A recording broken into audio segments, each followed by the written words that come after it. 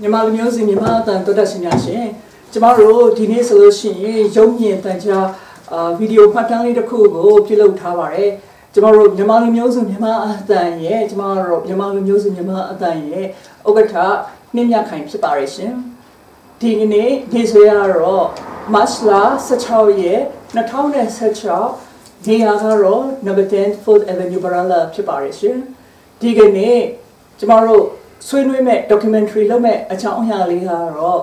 ဟို safe arawari ပေါ့နော် arawari မြစ်ကြီးကိုကျမတို့ဘယ်လိုဟိုကဲကဲတင်မလဲ arawari မြစ်အခုဆိုလို့ရှိရင်သောတာရှင်များသိတဲ့အတိုင်းပါပဲတောင်ထွန်းတာတွေဟာအများကြီးကိုဖြစ်နေပါတယ်အလွန်ကြီးကိုတောင်ထွန်းနေတယ်ဆိုတာကိုအဲတွေ့ရမှာပါနောက်ပြီးတော့ဗမာပြည်တစ်ပြည်လုံးမှာလည်းအဲရေရှားပါမှုတွေလည်းဖြစ်နေပါတယ်အဲ့တော့ဒါဟာတော်တော်ကြီးကိုစိုးရတဲ့အပိုင်းကိုကြားရောက်နေပါတယ်အဲ့ဒါကြောင့်ကျမကနေပြီးတော့ဒီနေ့ပညာရှင်နှစ်ဦးဖြစ်တဲ့အာပညာရှင်နှစ်ဦးဖြစ်တဲ့ဦးအောင်ဘွားဒေါက်တာဦးအောင်ဘွားနဲ့နောက်ပြီးတော့ဦးကျော်ဖင်းနဲ့ကျမတို့ အင်တာဗျူးလုပ်ထားပါတယ်အဲ့တော့ကျမတို့ပထမဦးဆုံးဦးအောင်ဘွားနဲ့ကျမတို့မိတ်ဆက်ပေးပြရစီကျမရဲ့ဘယ်ဘက်ညာဘက်မှာထိုင်နေတဲ့ဟိုဦးအောင်ဘွားဦးအောင်ဘွားကတော့ကျမတို့စစ်ဒနီမှာပဲနေပါတယ်အဲ့တော့ဥအောင်ဘွားဆိုလို့ရှိရင် BSE BSc ရန်ကုန် University ကပါနောက်ပြီးတော့ MSE uh University of New Brunswick Canada ကပေါ့နော် အဲအဲ့ဒီမှာလည်း MSc ဘွဲကိုရထားပါတယ်အဲ့ဒီအပြင် PhD University of Tasmania ကနေပြီးတော့လည်း PhD ဘွဲကိုရထားတဲ့ဒေါက်တာအောင်ဘွားဖြစ်ပါတယ်ရှင်ဟုတ်ကဲ့ကျွန်တော်ကဟိုစားလေး teaching staff အနေနဲ့ geology department နေရှိတဲ့ရန်ကုန် University နဲ့မော်လမြိုင် University မှာအလုပ်လုပ်ခဲ့ပါတယ်ဟုတ်ကဲ့နောက်က Applied Geology Department မှာလည်းပဲကျွန်တော် Teaching Staff Research Fellow အဲအဖြစ်ကျွန်တော်အလုပ်လုပ်ခဲ့ပါတယ်ဒါလည်းရန်ကုန် University ပါ နောက်ပြီးတော့မှကျွန်တော်ဒီ Australia လာပြီးတော့ School of Art Sciences မှာဆိုလို့ချင်းကျွန်တော် Research Fellow အဖြစ် University of Tasmania မှာကျွန်တော်လုပ်လုပ်ခဲ့ပါတယ်အဲ့ဒီရမှာဆင်ကျွန်တော်2003ခုနှစ်ကစပြီးတော့ဒီ academic ကိုကျွန်တော်ကြောခိုင်းပြီးတော့ industrial life ကိုကျွန်တော်ပြောင်းခဲ့ပါတယ်ဒါကြောင့်မလို့ကျွန်တော် geology နဲ့ exploration consulting ဖြစ်ဒီ Australia မှာရှိတဲ့ mining နဲ့ exploration company တော်တော်များများမှာကျွန်တော်လုပ်လုပ်ခဲ့ပါတယ်ဟုတ်ကဲ့ ကျေးဇူးအများကြီးတင်ပါတယ်ဒီနေ့ပါဝင်ဆွေးနွေးမှုမှာပါဝင်ပေးတဲ့အတွက်ကြောင့်ဒေါက်တာအောင်ဘွားအများကြီးပဲကျေးဇူးတင်ရှိပါတယ်ဟိုလိုအချိန်ပေးပြီးတော့အာပါဝင်ပေးတဲ့အတွက်ကြောင့်ကျမတို့ဒီနေ့အဲပါဝင်မဲ့နောက်တူကတော့ဆွေးနွေးပွဲမှာပါဝင်မဲ့နောက်တူကတော့အာဦးဦးကျော်ဝင်းဖြစ်ပါတယ်ဦးကျော်ဝင်းအတွက်မိတ်ဆက်ကလေးကိုအဲတမောသားကိုမြင့်သားကနေပြီးတော့နည်းနည်းမိတ်ဆက်ပေးပါလားတမောသားကိုမြင့်သားကနေပြီးတော့ဗီဒီယိုရိုက်ကူးမှာဖြစ်ပါတယ် အဲ့တော့ intro အနေနဲ့ဦးကျော်ဝင်းရဲ့ intro အနေနဲ့တမောသားကိုမြင့်သားကနည်းနည်းတော့ပြောပြပေးပါလားအဲကျွန်တော်ကတမောသားကိုမြင့်သားဖြစ်ပါလေ BCPG Burmese Broadcasting အာ radio မှာအာ programmer အနေနဲ့လည်းအဲလုပ်ပါတယ်အဲအဲ့တော့ဒီနေ့တော့အဲဒီ interview အတွက်ကိုလာပြီးတော့အာကူညီပေးတာပါနောက်ပညာရှင်တဦးကတော့ဦးကျော်ဝင်းဖြစ်ပါလေအဲသူက1971တုန်းက Bachelor of Engineering civil engineer အနေနဲ့ RIT ကနေဘွဲ့ရခဲ့ပါတယ်နောက်တစ်ခါ1977မှာ Master of Engineering နဲ့ Civil Engineering Engineering ကို RIT ကနေဘွဲ့ရခဲ့ပါတယ်နောက်တစ်ခါ1984မှာ postgraduate diploma အနေနဲ့ hydraulic engineer institute of international hydraulic and uh, environment တော့အတူကောက်ကတော့ IHE လို့ခေါ်ပါတယ်အဲ့ဒါ Netherlands ကနေသူရခဲ့တာပါ အဲနောက်သူအလုပ်ကိုင်နေလည်းရှိပါသေးတယ်အဲ့ဒါကတော့ကာယကံရှိကိုယ်တိုင်ပြောတာပိုကောင်းပါလိမ့်မယ်ဟုတ်ကဲ့ကျွန်တော်တို့တော့ရှင်များသိအောင်လို့ပြောပြပါအောင်ဟုတ်ကဲ့ခင်ဗျာကျွန်တော်1982ခုကနေ82ခုနှစ်ရန်ကုန်စိတ်ကံကော်ပိုရေးရှင်းပေါ့ကျွန်တော်ကတော့မြန်မာစိတ်ကံစိတ်ကံစိတ်ကံကော်ပိုရေးရှင်းစိတ်ကံကော်ပိုရေးရှင်း Rubber Boats Corporation မှာအင်ဂျင်နီယာဌာနမှာအင်ဂျင်နီယာဌာနမှာဒီနေ့လုပ်ခဲ့ပါတယ် နောက်1982ခုနှစ်ကနေပြီး85ခုနှစ်အထိ73နှစ်ကြာရန်ကုန်စက်မှုတက္ကသိုလ်မြို့ပြညီညာဌာနမှာ teaching staff အနေနဲ့လုပ်လုပ်ခဲ့ပါတယ်အဲဒီနောက်ပိုင်းမှာ1985ကနေ96ထိစနစ်တည်ရေလန်းထင်းထင်းညွှန်ကြားမှုဦးစီးဌာန Waterways Department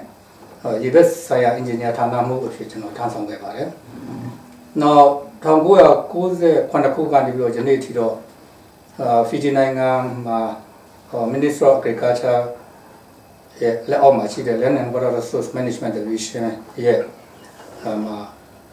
Principal Engineer အနေနဲ့ကျွန်တော်ထမ်းဆောင်ရဖြစ်ပါတယ်ဟုတ်ကဲ့ကျေးဇူးအများကြီးတင်ပါတယ်ရှင်ဟုတ်ကဲ့မြန်မာလူမျိုးစုမြန်မာအသံတော်တဲ့ရှင်များရှင်ကျမတို့မတ်လ15ရက်နေ့ရပဲမတ်လ15ရက်နေ့မှာအာ2016နေ့မှာပဲကျမတို့ဗီဒီယိုမှာတွေ့လိုက်ရပါတယ် အဲမြစ်ဆုံစီမံကိန်းကိုပြန်ပြီးတော့မလုပ်ဖို့အတွက်ကိုအာနေကန်တွေကနေပြီးတော့အထူးကိုအားကျမှန်တဲ့နဲ့သူတို့တောင်းဆိုနေတာကိုတွေ့ရပါတယ်အဲဒါနဲ့ပတ်သက်တဲ့ documentary လေးကိုလည်းကျမတို့ television မှာလည်းတွေ့နေရပါတယ်အဲတက်တက်ဆန်ဆန်မှာပဲကျမတို့ရဲ့အခုဒီဟိုဟာဆွေးနွေးပန်းလေးရတယ်အဲမြစ်ဆုံစီမံကိန်းအကြောင်းလေးပေါဝင်မှာဖြစ်ပါတယ် နောက်ပြီးတော့မြစ်တွေခန်းချောက်နေတဲ့ဗမာပြည်မှာရှိတဲ့မြစ်တွေအပါအဝင်ကဘာပေါ်မှာလည်းမြစ်တွေခန်းချောက်တာတွေနဲ့ပတ်သက်ပြီးတော့ဘယ်လိုမျိုးအတတ်နိုင်ဆုံးထိန်းသိမ်းချရမလဲ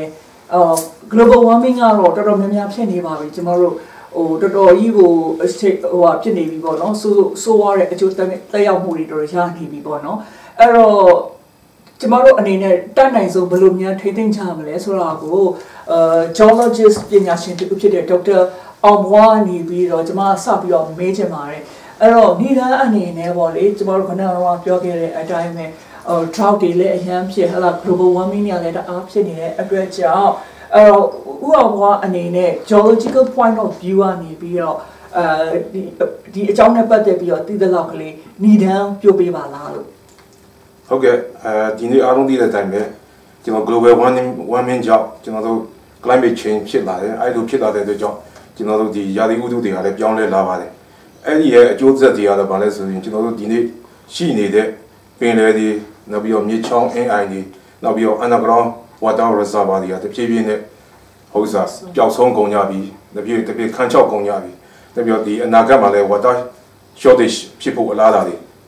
ဟိုကျွန်တော်မြင်ပါတယ်ဥပမာဆိုပြောပြမယ်ဆိုရင်ဒီကမ္ဘာပေါ်မှာဒီကျွန်တော်ပြောမယ်မြစ်တွေချောင်းတွေအင်းတွေအိုင်တွေက တချို့လည်းပဲပျောက်ဆုံးကုန်ကြပါပြီဟိုပေါ့6တွေသွားကြပြီတချို့လည်းပဲတဖြည်းဖြည်းနဲ့ရေတွေကယောနေနေကြပါတယ်အဲ့ဒါတွေကိုကြည့်မယ်ဆိုလို့ရှိရင်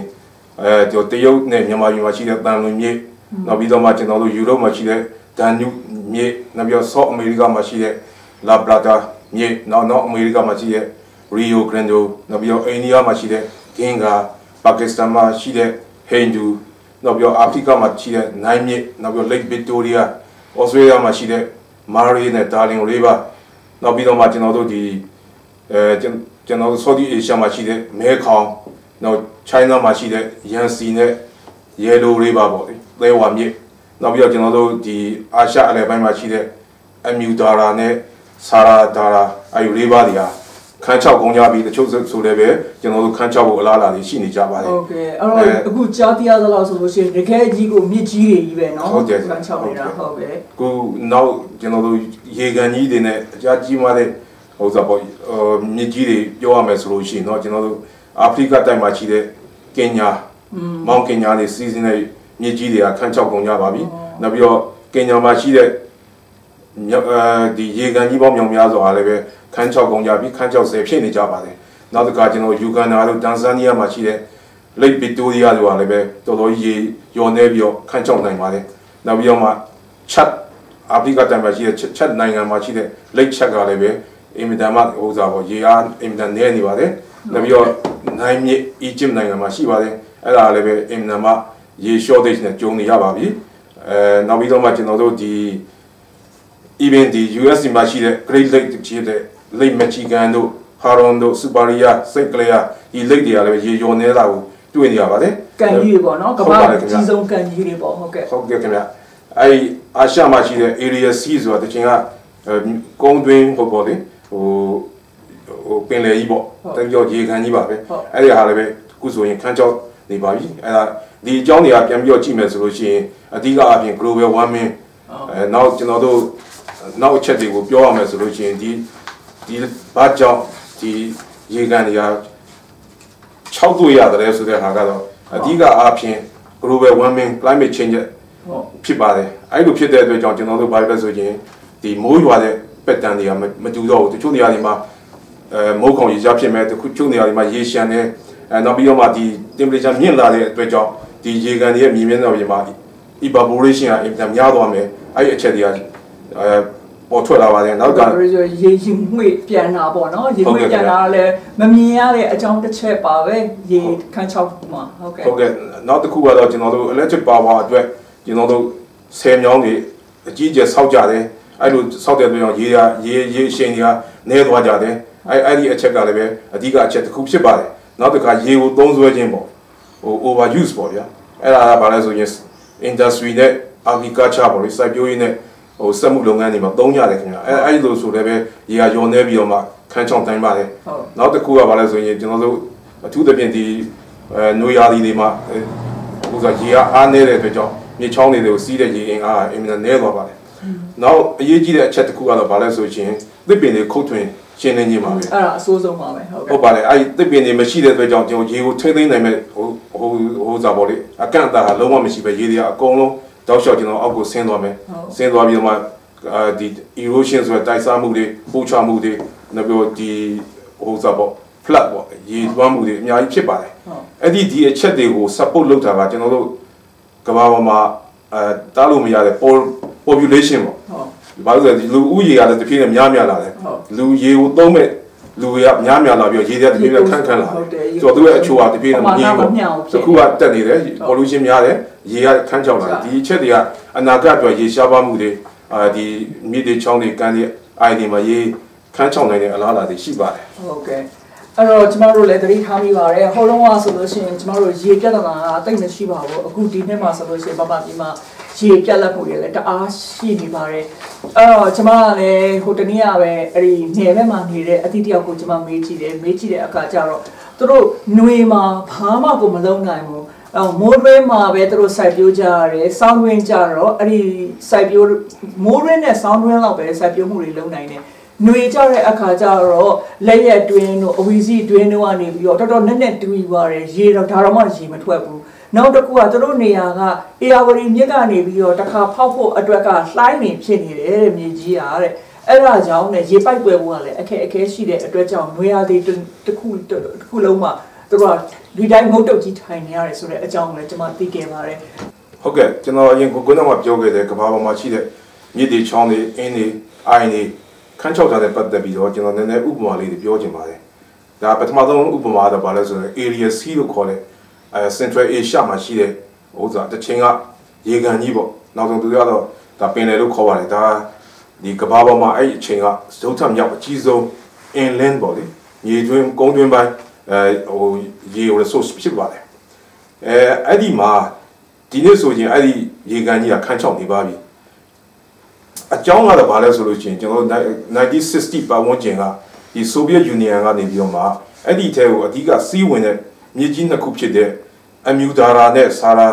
ဆာဒါဒါရာမြစ်နှစ်ခုဖြစ်ပါတယ်ဒါကိုအဲ့ဒီမြစ်ကနေပြီးတော့မှကျွန်တော်တို့ဒီ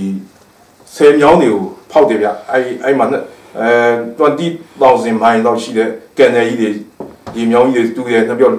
45 dams 45ခုဟိုစားဆယ်မြောင်းကြီးတွေစောက်တယ်နောက်ပြီးတော့မှ reservoir ကြီးတွေတွေ့80လောက်တူးတယ်အဲ့ရမှာတစင်သူကဘာကိုအဓိကလုပ်လဲဆိုရင်ကျွန်တော်စိုက်ပျိုးရေးဖြစ်တဲ့အဲဒီဒီပေါ့ဝါကုန်းပေါ့ကော်တွန်နဲ့တော့ကျွန်တော်ဂျုံကိုစိုက်တယ်အဲ့တော့ကဒီဒီမြေကြီးတွေကိုအဲဒီမြစ်တွေတွေကနေရောရေတွေကိုယူပြီးတော့မှဒီလိုဟိုစားပေါ့လေ ဟိုဆယ်မြောင်းကြီးတွေစောက်လိုက်တဲ့အတွက်ကြောင့်ဒီအဲ့ဒီ area C တွေကိုဝင်မဲ့ရေတွေဟာအဲ့ထဲကိုမရောက်တော့ဘာဖြစ်လို့လဲလမ်းကနေဖြတ်ပြီးတော့မှသူတို့ယူသွားခဲ့တယ်ယူသွားပြီးတော့မှသူတို့စိုက်ပျိုးရေးအဓိကလုပ်တဲ့အတွက်ကြောင့်အဲ့ဒီအချိန်မှာပဲရေရဲ့ level ဟာတဖြည်းဖြည်းနဲ့ကျလာတာတွေ့ရတယ်နောက်တစ်ခါသူတို့ရပါလဲဆိုရင်သဲကတာတဲ့ကိုဒီအဲ့ဒီကန်တယ်ကြီးတွေဖောက်တဲ့အတွက်ကြောင့်သူတို့ရဆုံးရှုံးမှုကဘာလဲဆိုရင်အဲ့ဒီကသဲတွေထဲမှာရေတွေကအကုန်လုံးစိတ်ဝင်သွားတယ်ပြီးတော့ရောက်တဲ့လောက်နေရာမရောက်ဘဲနဲ့တချို့ scientist တွေကပြောတာတော့25%ကနေ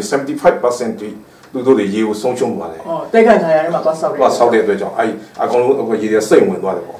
အစားရရမသိဘူးလားတိုက်ခိုက်ထားရတဲ့မှာဆောက်ရင်ဒီလိုမျိုးရေစိတ်မယ်ဆိုတာ။ရေကတော့အဲ့ချိန်ကတော့ကျွန်တော်ထင်တာတော့ရေတော်တော်လေးများလိမ့်မယ်။ရာများတော့သူ waste ကိုသူသတိထားပဲနဲ့ကန်တယ်ထဲမှာရှိတဲ့ရေတွေကတော်တော်များနေမယ်။နောက်ပြီးတော့ဆယ်တွေကလည်းစောက်ထားတယ်။နောက်ပြီး reservoir ထဲမှာရေတွေကရှိနေတယ်။ဒါပေမဲ့သူတို့ရေက အောက်ကိုသူဆုံးရှုံးသွားတယ်ဆိုတာကိုသိပြီးတော့သတိမထားဒီဘူးမှာကျွန်ထားမယ်တော်လို့ကျွန်တော်တဲထင်တော့တယ်လည်း technology ကလည်းအားနေပါလိမ့်မယ်အဲဖြစ်ကောင်းဖြစ်ပါလိမ့်မယ်ဟုတ်ကဲ့ဒီတော့အဲ့ဒီအဲ့လိုသုံးလိုက်တဲ့အတွက်ကြောင့်ဒီပြည်မြေကြီးနှစ်ခုရဲ့ရေရေအင်အားဟာအင်တန်နေသွားတယ်ခင်ဗျ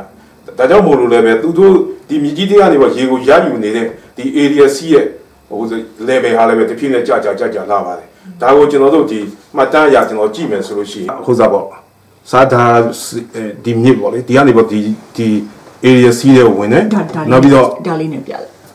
တော့အမြူဒါရာစီရဲ့ဟိုတော့အဲဒီမြစ်ကနေပြီးဒီကနေဝင်နေဒီဒီမြစ်နှစ်ခုကနေပြီးတော့သူတို့ရဒီခုနကဆယ်မြောင်းတွေတော့ရေတာတမန်တွေအကုန်လုံးယူလိုက်တဲ့အတွက်ကြောင့်ဒီထက်ကိုစီးဝင်တဲ့ရေတွေကယောနေသွားပါတယ်ဒီတော့အဲ့လိုယောနေသွားတဲ့အတွက်ကြောင့်ဒီ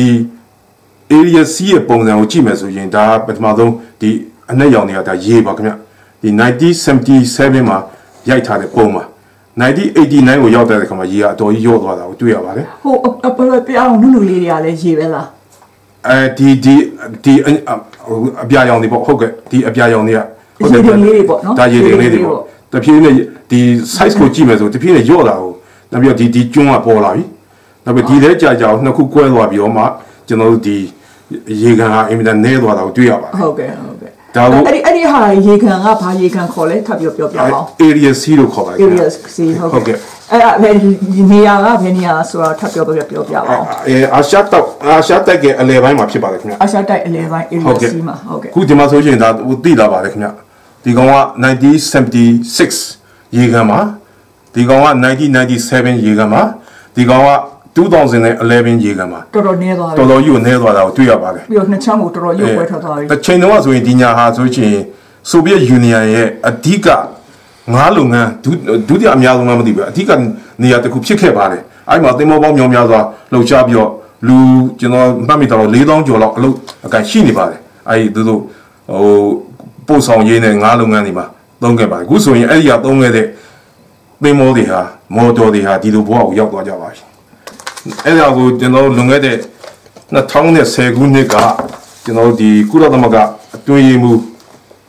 မန်ကီမွန်ဘန်ကီမွန်းကနေပြီးတော့သွားပြီးတော့လေ့လာခဲ့တဲ့ဒီဒါကိုဘာလို့ခေါ်လဲဆိုရှင်ဒါသင်္ဘောသင်္ချိုင်းပေါ့ဗျာအဲ့မှာအများကြီးပဲသင်္ဘောတွေကအကုန်လုံးအဲ့ပင်လေ6တဲမှာအများကြီးတွေ့ရပါလိမ့်မယ် global warming နဲ့ climate change ကြောင့်နောက်ပြီးရေကိုလည်းပဲဒီ overuse ဖြစ်တဲ့အတွက်ကြောင့်ဒီ ဒီဥစ္စာပင်လေကြီးကခန်းချောက်သွားတယ်ဆိုတဲ့အကြောင်းကိုကျွန်တော်ပြချင်တာပါဟိုလုံးကဆိုရင်တကယ်ကိုအကြီးပေါ့နော်ပင်လဲတော်ဟုတ်ပါတော်ရဲ့ကြီးခင်ဗျာကိုနဲ့မဲ့ပင်လဲအကြီးပေါ့ဟုတ်ကဲ့ဒီသင်္ဘောအဲ့ကြီးအဲ့အဲ့ဒီပင်လဲပဲလားမဟုတ်တာနောက်တက်တက်လားဒါအတူတူပါပဲခင်ဗျာဒီဒီပင်လေပါပဲဒါပုံလေးတွေကျွန်တော်ဟိုဟို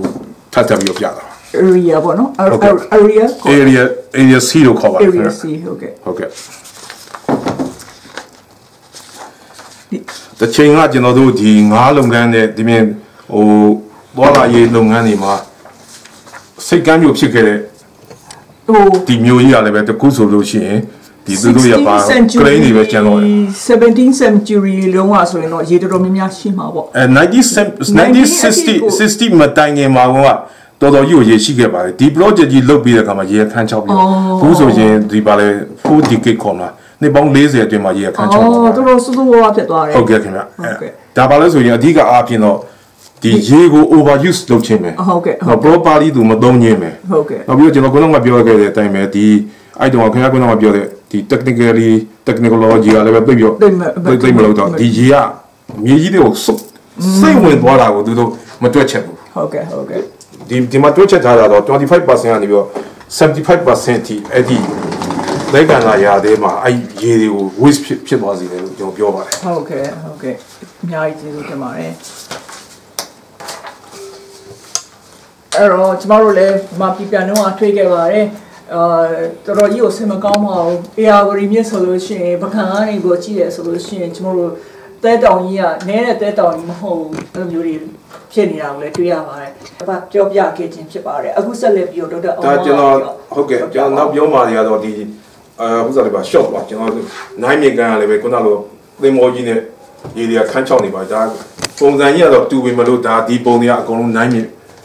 နိုင်မြင့်ဆိုတာတော်တော်ကြီးကိုတစ်ချိန်ကဒီတစ်ချိန်ကကျွန်တော်တို့ကဘာမှအရှိဆုံးမြင်လာအရှိဆုံးမြင်ပါပဲဟုတ်နော်အဲ့အဲ့ဒီအဲ့တော့အခုလည်းနိုင်မြင့်6နေရဲ့ပြီပုံစံကအခုဒီလိုမျိုးဖြစ်နေပါပြီအဲ့ဒါကလည်း overuse ပါတယ်သူတို့တွေကဒီနိုင်ငံပေါင်းမြောင်များစွာအာဖရိကနိုင်ငံပေါင်းမြောင်များစွာနဲ့ရေကိုဟိုစားပေါ့မြောင်များစွာသုံးကြတယ် နောက်ပြီးတော့စိုက်ပျိုးရေးတွေသုံးကြတယ်အဲ့ဒါကြောင့်မလို့ရေတွေကခန်းချောက်လာတယ်လို့ကျွန်တော်ယူဆပါတယ်ဟုတ်ကဲ့အဲနောက်တစ်ခုကကျွန်တော်တို့ဒီအဲကျွန်တော်တို့ဒီဩစတြေးလျနိုင်ငံရဲ့မာရီယိုရီဘာအကြောင်းကျွန်တော်နည်းနည်းတော့ပြောချင်ပါတယ်မာရီယိုရီဘာကလည်းပဲကျွန်တော်တစ်ခါတစ်ခါမှကျွန်တော်တို့ဒီပြဿနာတက်ပါတယ်ဘာလဲဆိုရှင်မိုးခေါင်လာပြီဆိုလို့ရှိရင်မာရီယိုရီဘာခန်းချောက်လာတယ်ဟုတ်ကဲ့ဒီတော့ဒါကတော့မာရီယိုရီဘာပုံမှာ မာရီရီဗာကတော့ဩစတြေးလျကအလွန်ကိုအားထားတဲ့ဟုတ်ကဲ့မြစ်ကြီးဖြစ်ပါတယ်ဟုတ်ပါအခုဥပမာပြတာတော့ဒီမာရီရီဘာပါဒီဩစတြေးလျမှာအကြီးဆုံးရီဘာတစ်ခုပါပဲဒီရီဘာရဲ့အဓိကပြဿနာဘာလဲဆိုရင်ကျွန်တော်စိုက်ပျိုးရေးအတွက် over use ဖြစ်နေတယ်အဲ့ဒီခါမှာသူ့ကို contribute လုပ်တာကဒီမိုးခေါင်ခြင်းပါပဲအဲ့လိုမိုးခေါင်လာပြီဆိုလို့ရှိရင်မာရီရီဘာဟာအင်မတန်မှရေနေပြီးတော့မှအင်မတန်မှဒုက္ခရောက်ပါတယ်ဒီခုဒီမှာဆိုလို့ရှိရင်ဒီမာရီရီဘာ အောက်ကနေပြီးရေခန်းချောင်းမှုကိုကျွန်တော်ပြနေပါတယ်အဲ့လိုခန်းချောင်းမှုဟာတချို့ဆိုလို့ရှိရင်တချို့နေရာတွေမှာဆိုလို့ရှိရင်ဒီအဲဗီတိုရီယာမှာဆိုကတော့ wetlands လို့ခေါ်တဲ့အဲတစ်ပင်တွေပေါရောက်တဲ့နေရာတွေကအကုန်လုံး75%လောက်ပျက်စီးသွားတာကိုတွေ့ရပါတယ်။နောက်တစ်ခါအဲ့မှာရှိတဲ့ငါးတွေဟာလည်းပဲ90%လောက်သေကြီးပျက်စီးသွားတာတွေ့ရတယ်။နောက်က red gum forest တွေကလည်းပဲအိမ်မှာအဲသေကြီးသွားတာကိုကျွန်တော်တွေ့ရပါတယ်။အဲအဲ့ဥပမာလေးတွေကိုကျွန်တော်ဒီမှာပုံလေးတွေနဲ့ပြချင်ပါတယ်။ ဒီမှာဆိုရှင်ဒါရငါးလေးဒါတစ်ပင်တွေနောက်ပြီးတော့မှဒီ6တွေ့နေတဲ့သူမာရီရေးပါဖြစ်ပါတယ်အာဒါကဘယ်နဲ့ဘယ်နှစ်ခုနှစ်တုန်းကပုံလဲဒါကလွန်ခဲ့တဲ့ကျွန်တော်ထင်တယ်ဟို3လေးနှစ်ဒီလွန်ခဲ့တဲ့သုံးလေးနှစ်ကဟိုပေါ့အခုဒီနှစ်ဘာခေါ်လဲဆိုရင်ဒီ drop ဖြစ်တဲ့အ drop ဖြစ်တဲ့အချိန်ပေါ့လွန်ခဲ့တဲ့ drop ကဟုတ်ဖြစ်ဖြစ်ပါတယ်အခုဒီနှစ်မှာမိုးပြန်ရွာပြီဆိုတော့ရေနည်းနဲ့ပြန်ပြေးပြီလားမသိဟုဘူးတ်ပါတယ်ခင်ဗျသူတို့ရဲ့စီမံကိန်းကဘာလဲဆိုလို့ရှိရင် ဒီလို over use ဖြစ်တဲ့အတွက်ကြောင့်ဒီဒီရေကန်တွေကိုဒီမြစ်ထဲကိုပြန်ပြီးတော့ထည့်ရမယ်ဆိုတဲ့အစိုးရရဲ့ဥပဒေသတ်မှတ်ထားပါတယ်ဩဒါကြောင့်မလို့ဒီ catchment area 23မှာရှိတဲ့ရေတွေကိုဘယ်လိုဘယ်လိုပြန်ပြီးတော့မှဟိုပေါ့လေဟိုပြန်ထည့်မယ်အဲ့ဒီထည့်ခြင်းအပြင်ဒီ Mary River ရဲ့ life ကပို့ပြီးတော့မှရှင်းသန်လာမယ်ဆိုပြီးအဲအတိတ်ပဲနဲ့သူဒီပြန်ပြီးတော့မှရေကိုပြန်ထည့်ဖို့ကျွန်တော်အစီအစဉ်လုပ်ခဲ့ပါတယ်ဥပဒေထုတ်ခဲ့ပါတယ်ဟုတ်ကဲ့အဲဒီသူတို့တွေသုံးတာတော့အာ ဘီလီယံလီတာပေါင်း2950အဲ့ဒါပါလဲဆို Mary River သုံးနေတာဟုတ်ကဲ့အဲ့ဒီဟာနဲ့တူညီတဲ့ရေဘောလုံးကိုပြန်ထည့်ဖို့အစီအစဉ်တွေလုပ်ပါတယ်ဟုတ်ဒါပေမဲ့လို့ကံကောင်းညင်တော့လွန်ခဲ့တဲ့နှစ်တည်းကဒီအဲမိုးကတော်တော်လေးကောင်းပြီးတော့မှဒီမာရီရီဘာအခုဆိုရင်ပြန်ပြီးတော့မှဟိုပေါ့စိုးပြေလာပါပြီငားတွေလည်းပဲအများကြီးရှိလာပါပြီနောက်ပြီးတော့မှဒီဟုတ်စားပေါ့ဟိုငှက်တွေရောသစ်ပင်တွေရောပြန်လဲလန်းဆန်းပြီးတော့အဆင်ပြေနေပါတယ်ခင်ဗျဟုတ်ကဲ့ဒီတော့ဒီဒီစီမံကိန်းက လောလောဆယ်တော့သိပ်ပြီးတော့မထီရောက်သေးပါဘူးဟုတ်ဒါကကျွန်တော်အခုမာရီရီဘာနဲ့ပတ်သက်လို့ကျွန်တော်ပြောချင်တဲ့အချက်ပါပဲအဓိကဆွေးနွေးမယ့်အကြောင်းက ARD မြေကြောင်းထိန်းသိမ်းရေးပါဒီတော့အခုကျွန်တော်အနေနဲ့ဒီ ARD မြင့်နဲ့ပတ်သက်လို့နည်းနည်းညီတန်းပြိုးပြိုးတဲ့သဘောပါဒါ ARD မြင့်ကတော့အားလုံးကျွန်တော်သိတဲ့အတိုင်းပါပဲကျွန်တော်မြန်မာပြည်ရဲ့အဓိကမြင့်ကြီးပါတယ်အဲကျွန်တော်တို့ရဲ့အဓိကဆွေးနွေးမယ့် ARD မြေကြောင်းထိန်းသိမ်းရေးနဲ့ပတ်သက်တဲ့အကြောင်းအရာဖြစ်ပါတယ်ကျွန်တော်အနေနဲ့ ARD မြင့်ရဲ့မြင့်ကိုကျွန်တော် နဲ့ညီတန်းပြိုးပါဒါ ARD မြစ်ဟာကျွန်တော်တို့မြန်မာနိုင်ငံရဲ့အဓိကမြေကြီးတစ်ခုဖြစ်ပါတယ်ဒီမြစ်ဟာဆိုချင်းအားလုံးသိပြီးဖြစ်ပါတယ်မြန်မာပြည်အလဲပိုင်းကနေဖြတ်ပြီးတော့စီးစင်းလာပါတယ်မေမေခမလိခကနေတော့ကျွန်တော်စပြီးတော့မှကျွန်တော်နောက်ဆုံးပိတ်မှာကျွန်တော်တို့ဘင်္ဂလားပင်လယ်အော်တွေကိုရန်ကုန်မြို့ဝအထိကျွန်တော်တို့မြို့ဝကျွန်းပေါ်ကနေပြီးတော့ဆင်းကျွန်တော်တို့အဲဒီပင်လယ်တွေကိုဝင်ပါတယ်ဒီမြစ်ရဲ့အလျားဆိုချင်းအဲကီလိုမီတာနဲ့1180ရှိတယ်မိုင်အရဆိုရင်1348မိုင် ရှည်ပါတယ်နောက်ဘေးစင်အနေနဲ့ဆိုရင်သူ့ရဲ့အထက်ပေါ်လုံးအနေနဲ့ဆိုရင်အဲဒီပေါ့413,000 km square ရှိပါတယ်ဒီဟာနောက်ဆုံးပြကြတော့ဒီပင်လယ်အဲပင်လယ်တွေကိုဟိုစားစီးဝင်သွားခြင်းဖြစ်ပါတယ်အဲနောက်ပြီးတော့သူ့ရဲ့ပုံလေးတွေကတော့အားလုံးကျွန်တော်တို့ဒီနွေရာသီမှာဒီ AR မြေရရေကျတဲ့အတွက်ကြောင့်သဲတောင်တွေကအများကြီးပေါ်လာပါတယ်ဒီလိုရေသဲတောင်တွေပေါ်လာတဲ့အတွက်ကြောင့် ကျွန်တော်သင်္ဘောသွားလာရေးခကြီးကလည်းပဲအင်မတန်မှခက်ခဲခဲ့ပါတယ်ဒီမှာဆိုရင်အားလုံးကျွန်တော်သဲတောင်ပေါ်နေတာကိုကျွန်တော်ဒီမှာပြခြင်းဖြစ်ပါတယ်ရေချောင်းချင်းမြောင်းတာကိုလည်းပြပြထားပါတယ်ဒါအားလုံးလည်းကျွန်တော်သိပြီးဖြစ်ပါတယ်ရေချောင်းကျင်းမြောင်းတဲ့ပုံလေးကပဲပုံလေးလေကျွန်တော်တို့ဒီမှာဆိုရင်သဲတွေကသဲတွေအများကြီးကြာနေတယ်နောက်ပြီးတော့မှရေချောင်းကတော်တော်များများကျင်းသွားတာကိုကျွန်တော်တွေ့ရပါတယ်သဲသဲတွေရှိတဲ့အတွက်ကြောင့် မြစ်ကွေးကောက်တာတွေပေါ့နော်ဟုတ်ကဲ့မြစ်ကိုကောက်တနည်းအားဖြင့်ဆိုရင်ဒီမြစ်ကပါလဲဆိုရင် ARD မြစ်ကအင်မတန်မှ very old river ဖြစ်ပါတယ်မြစ်ကပါလဲဆိုရင်ကျွန်တော်တို့မြစ်အစမှာတနည်းအားဖြင့်ဒီအောက်က basin ဟာဆိုရင် V shape ရှိပေမဲ့လို့ကျွန်တော်မြေတဖြည်းဖြည်းနဲ့အောက်ကိုကျလာတဲ့အခါမှာ U shape နဲ့နောက်ကသဲတောင်တွေအများကြီးပေါ်လာတယ်နောက်ပြီးတော့ကိုယ်ကောက်မှုတွေဖြစ်လာတယ်အဲနောက်ပြီးတော့မှအောက်နောက်ပြီးဆုံးကြတော့ data လို့ခေါ်တဲ့ဒီအမှန်ဖြာထွက်ပြီးတော့မှပင်လယ်တွေကိုစီးဝင်ပါတယ်ဒီတော့ကျွန်တော်တို့ဒီ AR မြစ်ရဆိုရင်အင်မတန်မှ OH ရောက်နေတဲ့မြစ်တစ်ခုပါဒါကြောင့်မလို့သူဟုတ်အထက်ပိုင်းမှာတော့ V shape ရှိကောင်းရှိမယ်ဒါပေမဲ့ကျွန်တော်တို့ဒီအောက်ပိုင်းကိုရောက်လာတဲ့အခါမှာ U shape ဖြစ်တယ်အဲ U shape ရှိတဲ့မြစ်ကအဓိကအပြင်တိုက်စားမှုတွေများသောအားဖြင့်ဘေးလိုက်တိုက်စားမှုတွေများပါတယ်ဒီအစာပိုင်းမြစ်တွေကတော့ဒီဘယ်ဒီဟိုဆိုရန်ဟိုဆိုပေါ့ river downstream တွေကတော့ဒီအောက်ဘက်ကိုတိုက်စားတာရှိပါတယ်ဒီမြန်မာပြည်မှာဆိုရှင်ဘေးဘက်ကိုတိုက်စားတဲ့ဆိုတော့မြစ်ကြောင်းဟာကျယ်လာတယ်အဲ့ဒီမှာကျယ်လာတဲ့များအဲ့ ကြားထဲမှာသဲတောင်တွေကပို့လာတယ်ကျွန်တော်တို့နွေရာသီရောက်လာတဲ့အခါမှာဒီသဲတောင်တွေကဒီရေချောင်းသွားလာကြီးကိုအင်မတန်မှအနှောက်အယှက်ဖြစ်စေပါတယ်ကျွန်တော်ငယ်တုန်းကဆိုရင်ဒီမော်တော်တွေနဲ့သွားတဲ့အခါမှာထိုးဝါးတွေနဲ့ထိုးပြီးတော့ဘယ်ညမှာဘယ်နဲ့ဘေးဘယ်နာဘယ်ဘယ်နဲ့ဘေးဆိုပြီးတော့မှအဲ့ဒီသွားတာကိုကျွန်တော်တွေးခဲ့ဘူးပါတယ်ဒါကကျွန်တော်အဓိကဒီ AR မြစ်ကဟိုစားပေါ့လေရေချောင်းချင်းများကျွန်တော်နေတန်းပြိုးတာပါအဓိကဒီဟာကိုထိမ့်သိမ်းမှုကိုတော့ဆရာဦးကျော်ဝင်းရတယ်ဆက်လက်ဆွေးနွေးပေးပါလိမ့်မယ် ဟုတ်ကျေးဇူးတင်ပါတယ်ဟုတ်ကဲ့ကျမတို့ဆက်လက်ပြီးတော့အခု documentary ပေါ့ AR မြစ်ချောင်းကိုဟိုထိမ့်သိမ်းကြဆိုးဆိုရဲဟိုပါပေါ့ဟိုရုပ်သက်မှတ်တမ်းလေးမှာနောက်ပညာရှင်တူဖြစ်တဲ့ဒေါက်တာကျော်ဝင်းနဲ့ကျွန်တော်တို့ကဆွေးနွေးမှာဖြစ်ပါတယ်အဲ့တော့ခဏတော့ intro လုပ်ခဲ့ပြီးသလိုပါပဲအဲဟိုဦးကျော်ဝင်းဟာဆိုလို့ရှိရင် civil engineer ဖြစ်ပါတယ် အဲ့တော့ကျွန်တော်တို့အခုဟိုဆွေးနွေးမှာတော့ Airwadi မြစ်ဟာမြစ်ကိုဘယ်လိုမျိုးထိမ့်သိမ်းချမလဲအားလုံးလည်းသိတဲ့အတိုင်းပါပဲ Airwadi မြစ်ဟာဆိုလို့ရှိရင်အကွေ့အကောက်တွေကလည်းအများကြီးဖြစ်ပေါ်နေတယ်အဲ့တော့ဘာဖြစ်လို့ Airwadi မြစ်အကွေ့အကောက်တွေဖြစ်လဲဆိုတာလည်းပတ်သက်ပြီးတော့လည်းကျွန်တော်တို့အနေအချင်းပြောပြမှာဖြစ်တယ်လို့ဦးကျော်ဝင်းကိုရင်ကလည်းဗမာပြည်မှာအာမြစ်ကြောင်းထင်းသိမ်းရေးမှာလုပ်ခဲ့တဲ့အတွက်ကြောင့်ဒါနဲ့ပတ်သက်ပြီးတော့အများကြီးအတွေ့အကြုံတွေရှိပါတယ်အဲ့တော့အော် ဒီသူ့မှာတည်ထားတဲ့ဘဟုတ္တတွေကိုခွဲပေးခြင်းအပြင်ဟာလာဖြန့်ဝေပေးခြင်းအပြင်အများကြီးဘဟုတ္တတွေရှိလာနိုင်တယ်လို့အခုတက်လာတဲ့ဗမာပြည်တက်လာတဲ့အစိုးရအသစ်အနေနဲ့လည်းအာဒီဟိုဟာတွေပေါ့ idea အသစ်တွေကိုရရှိတယ်လို့ကျွန်တော်တို့အယူဆပါတယ်အဲဒါကြောင့်လည်းကျွန်တော်တို့ဒီ documentary လေးကိုလုပ်လိုက်ခြင်းဖြစ်ပါတယ်အဲ့တော့ဥကြုံဝင်းကိုကျွန်တော်ကနေပြီးတော့ခဏတော့ကတော့ဒေါက်တာအောင်ဘွားနေပြီးတော့ ARD မြစ် နဲ့ပတ်သက်ပြီးတော့နည်းနည်းလေးဒီတန်းပြောခဲ့ပြီးပါပြီအဲ့တော့ဥကြုံဝင်းကနေပြီးတော့နည်းနည်းပရိသတ်ကိုအာနည်းနည်းပြောပြပေးပါအောင်ဘလို့မြေကြောင်းထိသိမ်းရေးနဲ့ပတ်သက်ပြီးတော့ရှိတယ်လေဘလို့ topic တွေကိုဆွေးနွေးပေးမလဲဟုတ်ကဲ့အန်တော်မြင့်ညရခင်ဗျာအာ ARD မြစ်ကအဲတကယ်ပြောမှဆိုလို့ရှိရင်အဲအထက်ကနေပြီးတော့ရေသုံးပိုင်းပိုင်းတော့ပေါ့လေပေါ်ပိုင်းမန္တလေးအထက်ပိုင်းမန္တလေးနဲ့မကွေး အလဲပိုင်းတော့မကွေးအောက်ပိုင်းပေါ့ဟင်္ဒရာအထိဟုတ်ကဲ့ဟိုနောက်ပြီးတော့မြို့ဝကျွန်းမှာကိုခဏထားလိုက်ပေါ့အဲ့တော့သုံးပိုင်းမှာအဲသူ့ရဲ့သဘာဝတွေအမျိုးမျိုးပြောင်းလဲနေပါတယ်ဟုတ်ကဲ့အဲ့တော့ဟိုရေစီးအနေနဲ့ကြည့်မယ်ဆိုလို့ရှိရင်အကြမ်းမြင် average ရေစီးတဲ့ပမာဏတူတွေဟာဟုတ်ရမြဆိုလို့ရှိရင်13000အဲ cubic meter per second ဆို အဲ့လောက်ထိ average ရှိပါတယ်အဲ့အဲ့ဒါဘယ်တော့မှတိုင်းထားအဲ့ဒါကအဲ့ဒါဟင်္ဒရာမှာသူအင်္ဂလိပ်ကလောက်ကစပြီးတော့တိုင်းထားတဲ့ဟာတွေပဲနော်နောက်ပိုင်းမှာလည်းပဲမိုးစလာဌာနကနေပြီးတော့ခါအားလျော်သွားတိုင်းတော့တိုင်းထားပါတယ်ဒါပေမဲ့ကျွန်တော် record ပြရတဲ့အရာဆိုလို့ရှိရင်အဲ့မှာအဲ့လောက်ထောင်းတောင်းတုံးတောင်းကျွေးမိပြပါ seconds every discharge ဒုရတော့ now ရေကြီးတဲ့အချိန်ကြာလို့ရှိရင်သူ့ရဲ့နှစ်ဆခွဲလောက်တက်ပါတယ် အဲဟိုဒီမို့32,600အာကျူဘီမီတာပါစက္ကန့်ပေါ့နောက်ရေရေနဲတဲ့အချိန်ကြာလို့ရှိရင်တော့ရင်2300ကျူဘီမီတာပါစက္ကန့်လောက်အဲ့တော့ average ရဲ့စာလို့ရှိရင်သူက6ပုံလုံးလောက်ပဲကျန်ပါတော့ရေစီးနှုံးအဲ့ဒါကဟင်္ဒရာလို့ဟင်္ဒရာဆိုတာ Irrawaddy Delta ရဲ့အစနေရာအဲ့တော့အစနေရာမှာအဲ့လောက်ရှိပေမဲ့က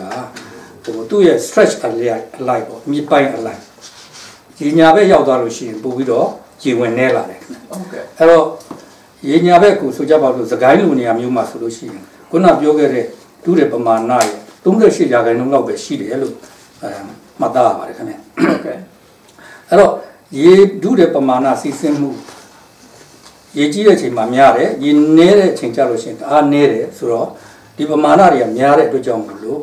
နောက်ပြီးတော့ရေအနှိမ့်အမြင့်ကလည်းစဉ်းစားကြည့်မယ်ဆိုရင်မိုးတွင်းမှာရေကြီးတဲ့ကာလနဲ့ရေနည်းတဲ့ကာလမှာဆိုရင်ဘယ်လောက်ထိရေအနှိမ့်အမြင့်ခွာလဲဆိုရင်ဥပမာမန္တလေးလိုနေရာမျိုးမှာဆိုလို့ရှိရင်အာဒီအနှိမ့်အမြင့်ကွာခြားချက်ကရေကြီးတဲ့အမြင့်နဲ့ရေငယ်တဲ့အမြင့်အနှိမ့်အမြင့်ကွာခြားချက်က30တပေလောက်ကိုကွာပါတယ်အော်များပါကြီးလားဟုတ်ကဲ့ဘာဖြစ်လို့ကွာတာလဲအဲ့ဒါကတော့ဟိုဟိုသူက title river လို့မရှိဘူးမဟုတ်ဘူးဟိုပြောင်းပြန်ပြန်စီးတဲ့မြေဘူးတစ်ဖက်သားစီးတဲ့မြေအော်ဒီဖက်တစ်ဖက်သားစီးတဲ့မြေဆိုတော့ကစီးလာတဲ့ကြီးအားလုံးကခုနဆရာဦးအောင်ဘွားပြောသလိုဟိုဟာသူ့ရဲ့ basing ပေါ့နော် catchment basing နေရာကနေပြီးတော့ဝင်လာတဲ့အဲမိုးရီမိုးရီနဲ့သူမိုးရီနဲ့အဲ့ဒီမိုးရီချောင်းရီကနေတစ်ဆင့်စီးဝင်တဲ့ဟာခုနကဘေးစင်ဆိုတာဘာလို့အဲဒါကတော့ဗမာလိုပြောမယ်ဆိုရင်တော့ဟိုပါပေါ့อืม ရေဝေး area ပါရေဝင်ရေဝေး area ပေါ့နော် watershed ပေါ့ဟုတ်ကဲ့ဘာလို့လဲဆိုတော့ဒီအေယာဝတီမြစ်ကြီးမှာပင်မမြစ်ကြီးရှိတယ်ဟုတ်ကဲ့ဒါပေမဲ့ရေတွေအားလုံးကဝင်လာတာကသူ့ရဲ့ရေ watershed area ကဟုတ်အဲတခြားမြစ်ချောင်းမြစ်မွာလေးတွေရှိတယ်မြစ်လက်တက်ကလေးတွေရှိမယ်ဟုတ်အဲ့ဒီမြစ်မွာမြစ်လက်တက်ကလေးတွေအားလုံးရဲ့ area ကိုပေါင်းလိုက်လို့ရှိရင်အဲ့ဒါကသူ့ရဲ့ water basin ပဲဟုတ်ကဲ့အဲ့ဒီ area တစ်ခုလုံးပေါ်မှာအာမိုးရွာချလို့ရှိရင် ရွာချတဲ့မိုးရေဟာ run off လို့ခေါ်တဲ့အဲရေစင်းတုံးအဲရေစီးနော်ရေစည်းအနေနဲ့ရေစည်းအနေနဲ့ဝင်လာတယ်ဟုတ်ကဲ့အဲအဲ့ဒါတွေကအာအညာပိုင်းဆိုလို့ရှိရင်လည်းပဲအညာပိုင်းရေလုံးလိုက်ဝင်တယ်ဟုတ်နောက်မြစ်လယ်ပိုင်းဆိုလို့ရှိရင်လည်းပဲမြစ်လယ်ပိုင်းကမြစ်လက်တက်ကလေးတွေကဝင်လာတယ်ဟုတ်မြစ်မြစ်အခြေပိုင်းရောက်လာတဲ့အချိန်မှာမြစ်အခြေပိုင်းကမြစ်လက်တက်ကလေးကတစ်ဆယ်ရေတွေကစုပြီးဝင်လာတယ်ဟုတ်ကဲ့နော်အဲ့တော့ဒါကြောင့်မို့လို့တဖြည်းဖြည်းမန္တလေးနဲ့ပြည်ရဲ့ ရေအနှိမ့်အမြင့်ကွာခြားချက်ကိုကြည့်မယ်ဆိုရင်မန္တလေးကခုနက30ပေလောက်ကွာတယ်နော်30ပေလောက်ကွာတယ်ပြည်ကြတော့အောက်ပိုင်းရောက်လာတယ်ပြည်ကြတော့ပြည်ဘက်နေရာရဲ့အကွာဝေးချက်ဟိုတဲ့ရေအမြင့်ဆုံးနဲ့အနှိမ့်ဆုံးကွာဝေးကြတော့ကအဲ39ပေလောက်ကိုကွာခြားချက်ရှိပါတယ်ຫນွေနဲ့ຫນွေနဲ့မိုးနဲ့ ဟုတ် အဲ့ဒီလောက်ကွာခြားချက်ရှိတဲ့အတွက်ကြောင့်မို့လို့အများအားဖြင့်တချို့နေရာတွေမှာရေပြတ်တယ်လို့ခေါ်တဲ့နေရာတွေမှာဆိုရင်ဒီ နွေရာသီရေနေချိန်မှာမြစ်ထဲမှာသွားပြီးတော့တိုင်ကြည့်လို့ရှိရင်နှစ်ပေနှစ်ပေခွဲလောက်ပဲရှိတော့တယ်အဲ့နှစ်ပေနှစ်ပေခွဲလောက်ပဲရှိတဲ့အတွက်ကြောင့်မို့လို့အဲ့ဒီနေရာကိုတင်မောတူအခုတော့ကိုတင် CB တို့ဘာလို့ဖြတ်ဖို့တိတ်ပြီးတော့ခက်တယ်အဲအမှတ်တမဲ့ဆိုလို့ရှိရင်ဒီမှာဟိုတင်ပေါ်တောင်းတင်တတ်တယ်ဟုတ်တော့အဲအဲ့ဒါတွေကကျွန်တော်တို့ရဲ့အမြဲတမ်းတွေ့ကြုံနေရတဲ့ navigation လို့ခေါ်တဲ့ inland water transport မှာပြဿနာတက်တာတွေအဲ့ဒါတွေပေါ့ဟုတ်ကဲ့ရေချောင်းကကျင်းတယ်ရေချောင်းတိမ်တယ်ဟုတ်တယ်ဆိုဟိုဟိုတနေ့တော့ကျွန်မတို့ရှင်းပြတဲ့ဟာဆိုအရာဆိုလို့ရှိရင်ယေဇူးကချတာက၄ပေလောက်ရှိတာကိုအဲ့တော့ရေအမြင့်ပေက6ပေကနေပြီးတော့10ပေလောက်ရှိတော့မှလေလေဘာတွေသွားလို့ရတယ်ဆိုတဲ့သဘောရှိတာပေါ့အဲ့တော့ຫນွေရာသီကြတဲ့အခါကျတော့2ပေလောက်ပဲဆိုတော့တအားနှိမ်လုံးအောင်ကြည့်တော့ လေတွေသွားလို့မရဘူးပေါ့ဟုတ်ပါတယ်အဲ့ဒီအဲ့ဒီရေရေအနက်တွေကလည်းပဲကျွန်တော်တို့မြစ်မြစ်အပိုင်းအလိုက်ကျွန်တော်တို့ကဟိုဟိုမှတ်တမ်းပြုထားတာတွေရှိပါတယ်ဒါကတော့တစ်နှစ်နဲ့တစ်နှစ်ခွာခြားမှုတော့ရှိတယ်အခုဆိုလို့ရှိရင်ဟို climate change အရာ global warming အရာရေဝင်တာတွေနည်းလာတဲ့ကြောင့်မလို့ဒီရေအဇူးအနက်တွေကလည်းပဲနည်းနေနည်းနေလာတယ်ဟုတ်အဲကျွန်တော်တို့အရင်တုန်းက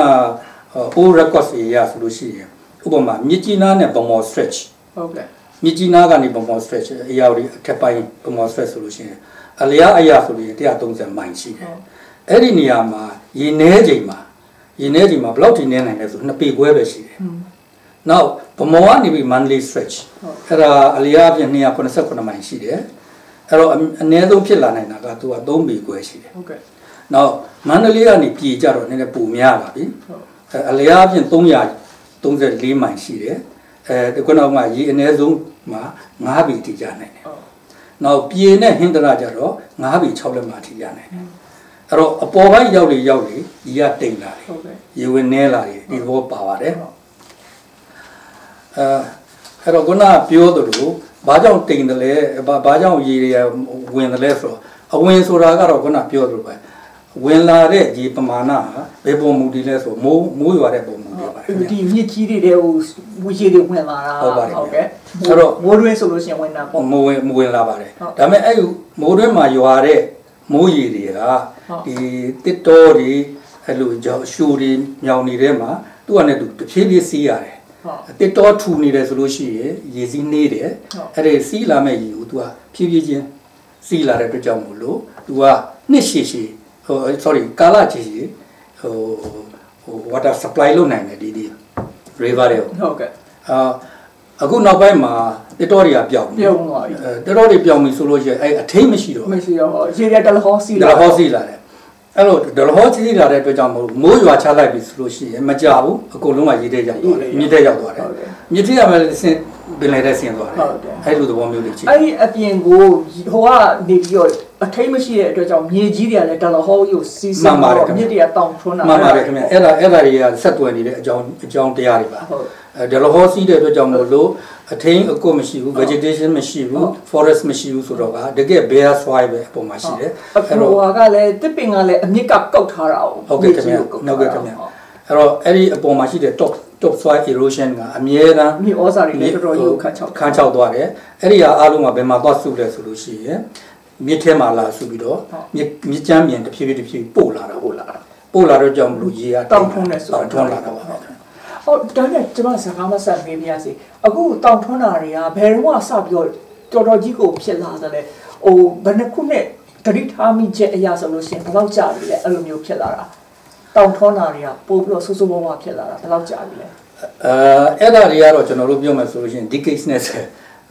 ဆက်အဲဆယ်စုနှစ်အတွင်းဆယ်ဆယ်ဆယ်ဆယ်စုတောင်မကပါဘူးခင်ဗျာဒါတွေကတော့ဟုတ်နော်အဲ့ဒီတော့ဟိုတုန်းကဆိုလို့ရှိရင်ကျွန်တော်တို့မှတ်တမ်းတွေပါတယ်ကြည့်မယ်ဆိုလို့ရှိရင်ဥပမာဗမာခေတ်ပေါ့တကောင်ဟိုအဲကုန်းမောင်ခေတ်လောက်လက်ထက်ကုန်းမောင်ခေတ်ပတ်ဝန်းကျင်ကုန်းမောင်ခေတ်ရှေ့ပိုင်းခေတ်လောက်ကဆိုလို့ရှိရင်အေယာဝတီမြစ်ကျော်မှာဒီလောက်ဟိုတည်းမဟုတ်သေးဘူးနော်ဒါပဲအစ်စ်ပင်အဲထူထပ်မှုတောထူထပ်မှုကလည်းရှိသေးတယ်ဆိုတော့ဒီလောက်မဆိုးသေးဘူးပေါ့ဒီအင်္ဂလိပ်ခေတ်လက်ထက်ကျတော့ဟာ တဖြည်းဖြည်းတဖြည်းဖြည်းစလာစလာပြီဒါပေမဲ့အဲတစ်တော်ပြုံးတိမှုကသူတို့ကအဲ forestry department ကနေပြီးတော့ရေတစ်ခုတ်တာကသူစနစ်တကျခုတ်တယ်နောက်ပြီးတော့ reforestation ဆိုပြီးတော့ပြန်ပြီးတော့ site တာကလည်းပဲသူ့ရဲ့ plan နဲ့ site တယ်အဲ့တော့ဟို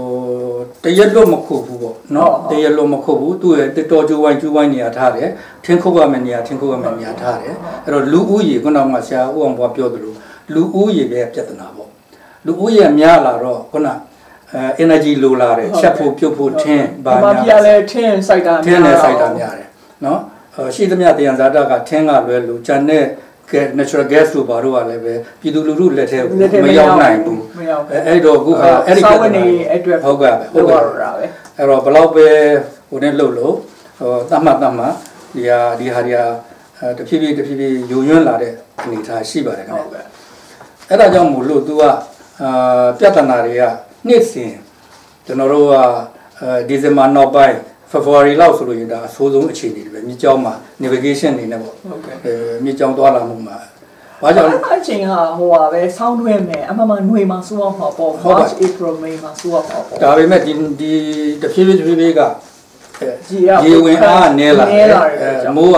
မိုးကနဲလာတယ်ရေဝင်နဲလာတယ်ဟုတ်ကဲ့ ရေဝင်လာတဲ့ရေကလည်းပဲအထိန်အကွက်မရှိဘဲနဲ့ဟုတ်ကဲ့ဒီလိုဟောစီးသွားတယ်ဆိုတဲ့ဟာတွေကြောင့်ဟုတ်ဟုတ်နော်အဲ့တော့အဲ့ဒီဟာတွေကတော့ဒါ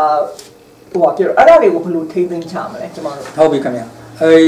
မြေကြောင်းထိမ့်သိမ်းမှာသူ့စာဆိုအရာတော့နော်အကြမ်းမြင်ပေါ့ဟိုသုံးနည်းရှိတယ်ပေါ့ဟုတ်အဲပထမနည်းရပါလဲဆိုလို့ရှိရင်ဟို discharge control လို့ခေါ်တယ်ဟုတ်ကဲ့အဲရေတုတဲ့စုလာတဲ့မိုးရွာတဲ့ရေအားလုံးကိုစုထားတယ် ဒမ်တစ်ခုစောက်ထားပြီးသူ့နောက်မှာရေရေလောင်ကန်ကြီးရေလောင်အိုင်ကြီးလို reservoir ကြီးလိုထားတယ်ရေနဲလာတဲ့အချိန်မှာအဲ့ကနေရေကိုယူပြီးတော့လိုသလောက် discharge ကိုချပေးတယ်မြစ်ထဲကိုချပေးတယ်အဲအဲ့ discharge တာကမန်ကြီးတွေကိုစောက်စောက်ပေးတယ်အကန့်လိုက်အကန့်လိုက်စောက်စောက်စောက်ပေးတယ်အကလိုက်အကလိုက်စောက်ပေးနိုင်တယ်နောက်ပြီးတော့အိုးမြင့်ညာမှာစောက်ပေးတယ်နောက်ပြီးတော့မြစ်လက်တက်တွေမှာစောက်ပေးနိုင်တာတွေရှိပါတယ်နော်ဒါလိုတော့ကိုပဲလိုတော့ကိုပဲအဲ့ဒါထုတ်ထုတ်တာပါဟုတ်နော်ဒါပေမဲ့အဲ့ဒီ အဲ့ဒီနီးကတော့อืมအကျိုးရှိတယ်လို့အပြစ်တွေလည်းအများကြီးရှိတယ်အခုခေတ်မှာကတော့ဆယ်အဲ့လိုတန်တမာကြီးတွေစောက်တာဟာအာတိတ်ပြီးတော့ဟိုတဘာဝပတ်ဝန်းကျင်ကုန်ကြစိတ်ကလည်းအလွန်များတယ်နောက်တော့ကုန်ကြစိတ်များတာထက်တဘာဝပတ်ဝန်းကျင် negative impact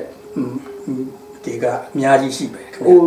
ရေရှံပြီးတော့ဆယ်တွေကိုလွှင့်လွှတ်ချလိုက်တာမျိုးဖွင့်ချလိုက်တာမျိုးအဲ့ဒါတွေရွာတွေလည်းရှံနိုင်တယ်အမျိုးမျိုးပေါ့ခင်ဗျာနောက်ပြီးတော့ အဲ reservoir ထဲမှာရှိတဲ့တစ်တစ်ပင်ပန်းမှန်တစ်ပင်တစ်တော်တွေပြုံပြုံပြီးသွားတာတွေရှိတယ်အဲအမျိုးစုံပဲခင်ဗျာဒါ negative impact နောက်ဒုတိယနည်းကဘာလဲဆိုလို့ရှိရင် water level control လို့ခေါ်တယ်ဟုတ်ကဲ့ water level control ဆိုတော့အဲ့လောက်တမန်ကြီးတော့မဟုတ်ဘူးအမြင့်ကြီးတွေမဆောက်ဘူးသို့တော်လည်းပဲအာအာမြစ်ကြောင်းတိတ်ပြီးတော့မကျဲတဲ့နေရာမျိုးဥပမာယူရိုပမှာရှိတဲ့ဟလာဟိုမြစ်တီလိုဟာမျိုးနော် အဲ့လို right မြစ်တို့ဘာတို့လိုဟာမျိုးမှာဆိုလို့ရှိရင်ဒီလို AR နဲ့ဆက်လို့ရှိရင်သူတို့ကအခြေအဖြစ်အဲနဲတယ်အဲ့လိုနေရာမျိုးမှာသူတို့ကဘာလဲဆိုကြားဖြတ်ဖြတ်ပြီးတော့ဟိုဆဲအပုလေးတွေစောက်တယ်ပေါ့ဟုတ်ဒါသူတို့ကျွန်တော်တို့ခေါ်တော့ wear လို့ခေါ်မယ် brush လို့ခေါ်မယ်ဟုတ်ကဲ့အဲ့ဒါကလပ်ဖြတ်ပိတ်ထားတယ်ဟုတ်ကလပ်ဖြတ်ပိတ်ထားတော့ brush တစ်ခုနဲ့တစ်ခုကြားမှာရေရသိမ့်မယ်ဟုတ်ရပုံမှန်ပုံမှန်အမြင့်ရပုံမယ်မှန်အမြင်ရှိတယ်အဲ့ဒီပုံမှန်အမြင့်ရမယ်ဆိုတော့တင်းပေါ်သွားလာဖို့ကြတော့ဘယ်လိုလုပ်ပြရလဲဆိုအဲ့ brush တစ်ခုကိုကြော်ဖို့ one stretch ကနေ one stretch ကြော်ဖို့ဆိုလို့ရှိရင်အဲ့ဒီမှာ ship lock တွေလုပ်ထားပြရတယ်ဟုတ်ကဲ့ဟုတ် ship lock ကဒီတင်းပေါ်ဒီနာလာလို့ရှိရင်ဖွင့်ပေးရဖွင့်ပေးတယ်မှာဖွပေါ့င့်ပေးပြီးတစ်ဖက်ကိုရေရေပြန်ပြီးမထွက်အောင်ပိတ်ဆူထားစတယ်ကန်နယ်လို့ဟာမျိုးလားအဲအဲ့ဒီသဘောမျိုးအများအများဖြစ်တော့ Suez Canal မှာတဲ့ဒီမှာ Antwerp တို့ဘာတို့အဲ့ဒီမှာအဓိကအဲဒီကကဘာစီစီကဘာမှာအရင်တော့ကတော့အကြီးဆုံးအာစီ ဟိုဘာလဲ ship lock St Lawrence မှာရှိတယ် Okay. St အဲ့အဲ့ Lawrence 37 lock ရှိတယ်နော်အဲအဲ့အဲ့ဒီလိုဟာမျိုးတွေကတော့ဒါအဲမြေကြောင်းအနေထားရသေးတဲ့ဟာမြေကြောင်းအနေထားရ control လုပ်နိုင်တဲ့ဟာမျိုးဆိုရင်ကောင်းပါတယ်ဟုတ်အဲတလောကတော့သုံးနှစ်နှစ်လောက်ကတော့ကျွန်တော်သတင်းထဲမှာဖတ်လိုက်တယ်အဲနိုင်ငံခြား consultant team တစ်ခုကလာပြီးတော့ AR ပေါ်မှာအဲ့လို brush များဆောက်လို့ရမလားဆိုတာ study လုပ်တယ်လို့တတ်မှန်ကြားလိုက်တယ်ခင်ဗျ အဲ့တော့ကျွန်တော်ထင်တာတော့ AR ရဲ့ဒီမြစ်အထက်ပိုင်းမြစ်ကျင်းနေရာတွေတော့မသိဘူးဒီမြစ်ဒီအပူပိုင်းဆုံးဒေသပိုင်းမှာမြစ်ကျဲတဲ့နေရာမျိုးမှာဆိုတော့အဲ့လို brush တွေဆောက်ဖို့ဆိုတာတော့တော်တော်ကို challenging ခက်လက်ခက်လက်ခက်လက်အခြေကြီးတွေကိုဟိုဘာဖြစ်လို့လဲဆိုလို့ရှိရင်မြက်ကကျဲတဲ့အတွက်ကြောင့်စောက်ရတော့တစ်ဖက်နဲ့တစ်ဖက်ကိုဟိုကန့်လန့်ပြတ်စောက်ရမယ်ဆိုတော့ ဘာဖြစ်တာပေါ့ကုန်ကြစိတ်ကြီးကြီးတာဘုံကျစိတ်ကြီးယုံနေမကဘူးနောက်ပြီးတော့ဒီခုနကဟို geology အနေထားအရနော်အားလုံးကဒီမြစ်ဒီလို AR ရဲ့အလယ်ပိုင်းလောက်မှာဆိုလို့ရှိရင်အားလုံးကအာမြစ်ကဘာဆိုတာက alluvial soil တွေပဲမြင်းနုကျွန်းနေမမြင်းနုဒါချိန်ရွေးပြိုးနိုင်တယ်ပြိုနိုင်တယ်အဲ့ဒီအရေးကိုထိမ့်ဖို့ဆိုလို့ရှိရင်တကယ်ကိုအခိုင်အမာ concrete နဲ့ဘာနဲ့ညာနဲ့လုပ်ရမယ်အဲ့တော့ဟိုမြစ်ကျင်းလိုနေရာမျိုးမှာကျတော့နှစ်ဖက်စလုံးကကြောက် ကြောက်ကဘာလိုနေရာမျိုးအဲ့လိုနေရာမျိုးမှာထိမ့်ဆောက်လို့ရှိရင်အဲ့ထဲမှာမြစ်ကျင်းတစ်ခုကိုရေသေးပိတ်ထားပြီးတော့အဲလိုတဲ့အချိန်မှာအဲ့ဒါလေးဖြတ်ပေါက်ထားပေါက်ချပေးတယ်ဆိုတဲ့သဘောမျိုးလေးရှိကောင်းရှိမယ်ဒါကတော့သူတို့အဲကမ္ဘာပညာရှင်တွေလေ့လာတယ်လို့ပြောပါတယ်ဘယ်လောက်ဘယ်လောက် feasible ဖြစ်မဖြစ်တော့ကျွန်တော်လည်းမမှန်တတ်ပါဘူးခင်ဗျာအဲဒါပေမဲ့အခုဟိုကလေးကနောက်ဆုံးမိတ်တက်တရားနီးပေါ့နော်ဟိုကလေးက low cost နီးလည်းဖြစ်တယ်နောက်ပြီးတော့ negative impact လည်းအနည်းဆုံးဖြစ်တဲ့နီးကတော့ river bed regulation လို့ခေါ်တယ်ဟုတ်ကဲ့ river bed regulation ဆိုတာခုနကတော့လို့အကြီး structure တွေမဆောက်ဘူးဟုတ်ရေနှဲချိန်ကြလို့ရှိရင်မြစ်ရဲ့သဘာဝအရာမြစ်ဟာမြစ် channel တွေဟာအဲလက်ကြားထိုးတယ်လို့ဟုတ်နော်ဟို one channel တစ်ခုတည်းမသွားတော့ဘူးရေ channel က one channel တစ်ခုရေမွာပေါက်တွေအများကြီးဖြစ်တယ်ဟုတ်ကဲ့ ရေမွာပေါက်တွေအများကြီးဖြစ်လာပြီးတော့အဲ့အမွာပေါက်တွေထဲမှာရေတွေကဖြန့်ပြီးစီးတယ်ဟုတ်ကဲ့ဖြန့်ပြီးစီးတယ်ဆိုတော့ကအာရေစုကနေကုန်ပြီဟုတ်အဲ့တော့အဲ့ဒီဟာကိုရေစုမနေအောင်မလိုတဲ့ channel အပေါက်တွေကိုရေပေါက်တွေကိုလိုက်ပိတ်တယ်ဟုတ်လိုက်ပိတ်ရင်ပိတ်မယ်ဒါမှမဟုတ်ရင်အဲ့ထဲကိုမဝင်အောင်ရေကို deflect လုပ်ပေးလိုက်ပြီးတော့တကယ် main channel တွေကို deflect လုပ်ပြီးသွင်းတဲ့နည်းတွေဟုတ်ကဲ့အဲ့ဒါတွေကတော့အခုလောလောဆယ်အဲ ဒီဟာအကောင်းဆုံးဒီလားအခုပေါ့နော်ဗမာပြည်မှာဆောက်လုပ်နေကြတဲ့အော်နည်းတွေပေါ့ခင်ဗျာအဲ့တော့မြေကြောင်းတွေကွဲထွက်သွားတဲ့နေရာမှာအားနေတဲ့နေရာလေးတွေကိုပိတ်လိုက်ပြီးတော့အားကြီးတဲ့နေရာလေးကိုဖွင့်ပေးထားဟုတ်ပါတယ်ခင်ဗျာဟုတ်ပါတယ်အဲ့ဒါကိုအဲ့ဒီခုနက river bank ဆိုတာဘာလဲဆိုလို့ရှိရင်မြေမြေချမ်းပြင်ပေါ့မြေချမ်းပြင်ဟုတ်ဘာလို့မြေချမ်းပြင်မှာအားလုံးကပို့နေတာကတဲတဲတောင်တွေဟုတ်ကဲ့နော်တချို့ကတောင်ပါခေါ်တယ်တောင်ပါကတပြေးတပြေးထွေးမြင့်လာပြီးရင်ကျွန်းဖြစ်တယ်ဟုတ်နော်ကျွန်းပေါ်မှာမှလူရွာတို့လူတို့ဘာတို့နေလာပြီ အဲတောင်ပါပေါ်မှာနှုံးတင်ကြတဲ့ချိန်ကတော့မြေနုကျွန်းဆိုလို့ခေါ်တယ်ဟုတ်ကဲ့မြေနုကျွန်းကတော့ခင်ဗျားတို့ဟိုမြေနုကျွန်းအရေးပြဿနာတို့ဟိုမှာဟိုရင်းဒီပါတွေမှာအဲဟင်္ဒရာဘက်တို့နော်အဲအဲအေးဗမာပြည်အလဲပိုင်းတို့မှာမြေနုကျွန်းပြဿနာတွေအများကြီးရှိတယ်ဘာလို့စိုက်လို့ပြုလို့ကောင်းတာပေါ့ဒီကောင်းနော်ဒါပေမဲ့အဲ့ဒီမြေမြေနုကျွန်းအားလုံးကလည်းပဲရေကြီးချိန်ကြလို့ရှိရင်အားလုံးကရေအောက်ရောက်သွားတယ်ဟုတ်ကဲ့ဘာလို့လဲဆိုတော့ပေ30လောက်ကသူကအနေမြင့်ရှိနေကြီးရဟုတ်ကဲ့ဟုတ်ကဲ့ အဲ့တော့ကနန်ရောကနောက်ဆုံးနီးအကောင်းဆုံးနီးဆိုတဲ့ဟာလေးကိုဆက်ပြီးပြောပါအောင်ပုံလေးရှိလို့ရှိရင်ပုံလေးနဲ့ပြပါအောင်ဟုတ်အကောင်းဆုံးနီးလို့တော့ကျွန်တော်မပြောလို့ပါဘူးအာဗမာပြည်အတွက်ဘလောလို့တဲ့အတော်သင့်လျော်ဆုံးနီးတော်ဆုံးပေါ့ဒီအနည်းဆုံးပေါ့ဟုတ်ကဲ့အာအခုမြစ်ရဲ့အကျယ်နှစ်ခုကွာခြားချက်ကိုကျွန်တော်ရှင်းပြပါမယ်ဟုတ်ကဲ့ဒီဘက်ကဒါကြောင်မြောင်းဘက်ကနေလာတဲ့အေယာဝတီမြစ်ပါပဲဟုတ်ဒီအေယာဝတီမြစ်အပြာရောင်ဟာဒါမြစ်ရဲ့အကျယ်ပဲခင်ဗျဟုတ်ကဲ့နော် အဲ့ဒီအမြင့်အပြည့်အကျယ်ကြတော့ဒီဒီအပိုင်းကသူကဘေးက width က confine ဖြစ်နေတယ်ဟုတ် confine ဖြစ်နေတော့ဒီ confine ဆိုတာအာနှစ်ဖက်ကနေပြီးတော့ခုနဟိုဒီအာဘာခေါ်လဲအာမြစ်မြစ်ကန်ဘာအာထိန်းချုပ်ထားတဲ့သဘောပေါ့နော်ဟုတ်အဲအဲ့တော့ဒီ width ကပေ2000လောက်အကျယ်လောက်ရှိမယ်ဟုတ်ကဲ့ဒါပေမဲ့ ကြောင်မြောင်းကထွက်ပြီးတော့ဒီစင်ကူးလေရောက်ရောဒီနာဒါစင်ကူးစင်ကူးရောက်လာတဲ့ချိန်ကြလို့ရှိရင်ဒီမြစ်တဘာဝမဟုတ်တော့ဘဲနဲ့ကျယ်သွားပြီမြစ်ဝစ်ကကျယ်သွားပြီကျယ်သွားတဲ့အတွက်ကြောင့်မို့လို့ရေစီးကလည်းညော့ကျသွားပြီးတော့ဒီအလေကောင်မှာသဲတောင်ပါးတွေကျွန်းနေဟုတ်ပေါ်လာတယ်ခင်ဗျအဲ့တော့သဲတောင်ပါးတွေအဲ့လိုကျယ်ပြီးတော့သဲတောင်ပါးတွေကျွန်းနေပေါ်လာပြီဆိုလို့ရှိရင်ရေဟာလုံးမနေတော့ဘဲနဲ့ channel ရေမှွာပေါက်လို့ခေါ်တယ် different channel ပေါ့နော်ဒီ channel လေးတွေပေါ်လာတယ်ဟုတ်အဲ့ဒီ channel လေးတွေအများစုပေါ်လာရင်စုလာတဲ့ရေဟာခွဲထွက်သွားတယ်ဟုတ်ခွဲထွက်သွားတော့ဟို main channel မှာရေဟာလုံလောက်တဲ့လုံလောက်တဲ့ရေစုပမာဏမရတော့ဘူးဟုတ်ဒါကြောင့်မို့လို့မြစ်မြစ်ကြောင်းထိမ့်သိမ်းရေးမှာဒီဘက်က minor channel တွေကိုတတ်နိုင်သမျှရေမဝင်အောင်တားပြီးတော့တားပြီးတော့အာ main channel ကိုလိုချင်တဲ့ channel ကိုရေကိုစုပေးတဲ့ဟုတ်ကဲ့အဲဟိုတ ဘာဝကိုလုပ်ရပါတယ်ဟုတ်ကဲ့နော်နောက်ပြီးတော့အာအခုကျွန်တော်ပြောကြတယ်ဒီကောင်ကမြစ်တွေဟာအမြဲတမ်းကောက်ကွေတယ်ဟုတ်ကဲ့အမြဲတမ်းမင်းသားဖြစ်နေတယ်ဟုတ်အဲမင်းသားဖြစ်တဲ့ pattern ကလည်းပဲအာဒီနှစ်နဲ့နောက်နှစ်တူချင်မှတူမယ်တရားဒီနဲ့တရားဒီတော့မတူဘူးဟုတ်နောက်ပဲတစ်ခါတလေမှလာပိုင်းအရာကိုပဲဒီ channel တွေကအာဒီနားမှာရေနက်ပြီးမဲ့နောက်နှစ်လလောက်ကြာရင်ရေနက်တာမဟုတ်တော့ဘဲနဲ့တစ်တစ် channel တခြား channel ကရေနက်တာမျိုးလေးပြောင်းတတ်ပါတယ်ဟုတ်အဲ့တော့အဲ ကျွန်တော်တို့အတွေ့အကြုံရဆိုလို့ရှိရင်နွေရာသီမှာနော် February လောက်အမ်မေအဲ February လောက်ရောက်လို့ရှိရင်ရေကနေပြီရေနေလို့ဒီလိုဒီလိုပုံစံတွေပေါ်လာပြီဟုတ်ပြီအဲ့တော့ရေသွားလာမှုရေလန်းသွားလာမှုခက်ခဲလာပြီခက်ခဲလာတော့ကျွန်တော်တို့က boeing vessel တွေနဲ့လိုက်ပြီးတော့ channel marking လို့ခေါ်တဲ့ဟိုလမ်းကြောင်းပြရတယ်အဲ့တော့လမ်းကြောင်းပြရင်ကနေပြီးတော့ဘယ်ချိန်လောက်မှရေပြန်တက်လာတတ်လဲဆိုလို့ရှိရင် April မှာတစ်ခါတက်လာတယ် April ကကျွန်တော်တို့ဗမာခေါ်တော့တကူးပေါ့တကူးရေတိုးလို့ကျွန်တော်တို့သတ်မှတ်တယ်ဟုတ်ကဲ့တကူးဘာကြောင့်ရေတိုးလဲဆိုရင်အဲ့ဒီတကူးအဲ့ဒီအပူရှိန်ကြောင့်အာအေယော်ရီမြစ်ကဟိုတဲ့ပေါ့အာမြစ်လက်တဲ့နမွာဖြစ်တဲ့အဲ့ဒီမေခမလိခဘက်ကနေပြီးတော့ရင်တောင်တွေကနေပြီးတော့နှင်းကြီးနှင်းပြိုကြီးဝင်လာတယ်ခင်ဗျအဲ့နှင်းပြိုကြီးဝင်လာတဲ့အတွက်ခုနက channel ရဲ့တဲမှာ ရှိတဲ့ရေဟာနည်းနည်းတက်လာတယ်ဟုတ်ကဲ့အဲ့လိုနည်းနည်းတက်လာလို့ရှိရင်သင်္ဘောသွားလာမှုလှုပ်ရှားမှုဟာပို့ပြီးတော့နည်းနည်းလေးတက်တာကြံမိုးကြောင်အောင်မပါဘူးလားဒကြံမိုးကြောက်ပြဒီလောက်လောက်မများဘူးဟုတ်နော်ကဲ့ဟုတ်ကဲ့ဟိုဘက်ကနှင်းပြိုရေရောက်အော်ဟာဖြစ်ဖြစ်တာများတယ်ဟုတ်အော်ဒါပေမဲ့အဲ့ဒီလိုတစ်ချက်တိုးလိုက်လို့ရှိရင်ခုနသတ်မှတ်ထားတဲ့ရေလန်းကောင်းတယ်လို့ပြောတဲ့ channel ဟာအဲ့ဒီနှင်းပြိုရေတိုးပြီးပြန်ကျသွားတဲ့အချိန်မှာကောင်းတယ်မကောင်းတော့တယ်ဟုတ်ကဲ့နော်အဲ တခြား channel ကပြန်ပြီးတော့ပတ်ရေပေါက်ပေါက်ချင်းပေါက်သွားတယ်အော်ဒါကြောင့်မို့လို့အဲ့ဒီလို wine vessel တွေကအမြဲတမ်းလိုက်ပြီးတော့ monitor လုပ်ပြီးတော့အမြဲတမ်းပြောင်းပေးနေရတယ်ဟုတ်ကဲ့နော်ဟုတ်အဲဒါကပုံတစ်ခုပေါ့နော်ဟုတ်ကဲ့ဟုတ်တယ်အဲဒါဒါတွေကတော့ကတာအဝင်ပေါ့နော်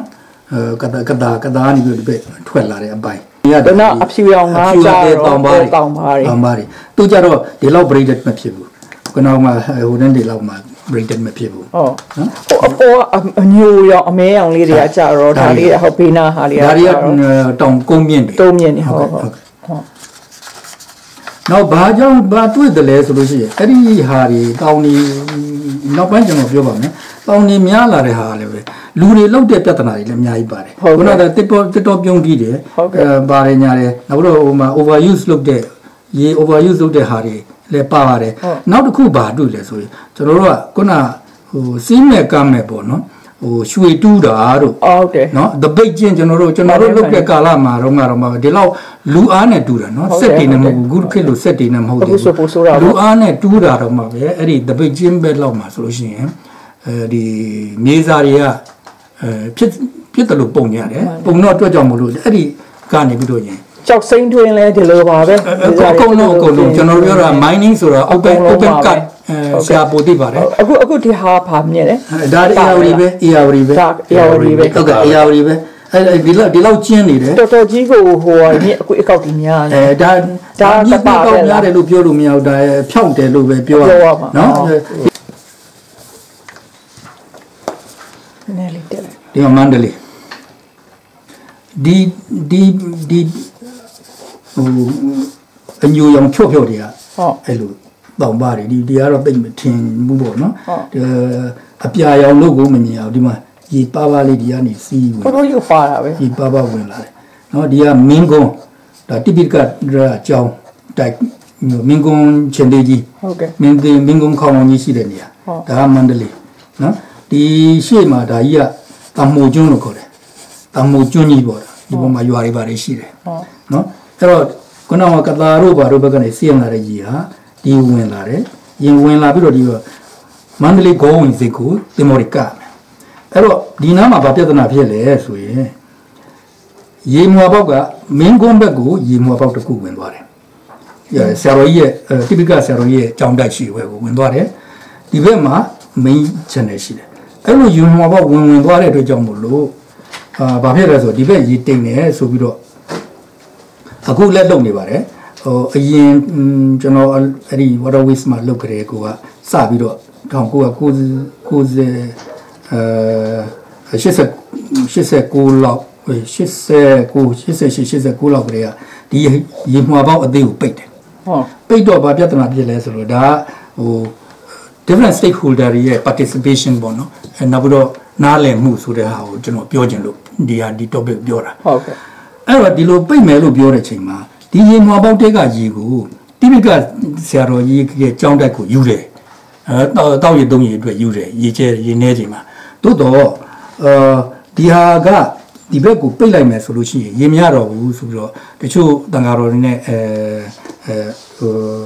ဒကာတွေကမကြိုက်ဘူးလေမကြိုက်ပေမဲ့ဆရာတော်ကြီးကဗာမိတ်နေဆိုတော့ဒါနိုင်ငံတော်အတွက်ကောင်းအောင်လုပ်နေတာ ငါတို့ဒီဘက်ကနေပြီးလို့ရင်ဒီ service water ကိုမရလို့ရှရင်ကိစ္စမရှိဘူးစက်ရတွင်တူးမယ်ဆိုအဲ့လိုနော်ဟိုရင်ပေါ့သဘောထားကြီးကြီးနဲ့နားလည်မှုကြီးကြီးနဲ့အဲအဲ့လိုပါဝင်ဆောင်ရွက်တဲ့ဟာတွေဟာဒါခုခေတ်ပြောမယ်ဆိုလို့ရှိရင် integrated approach ပေါ့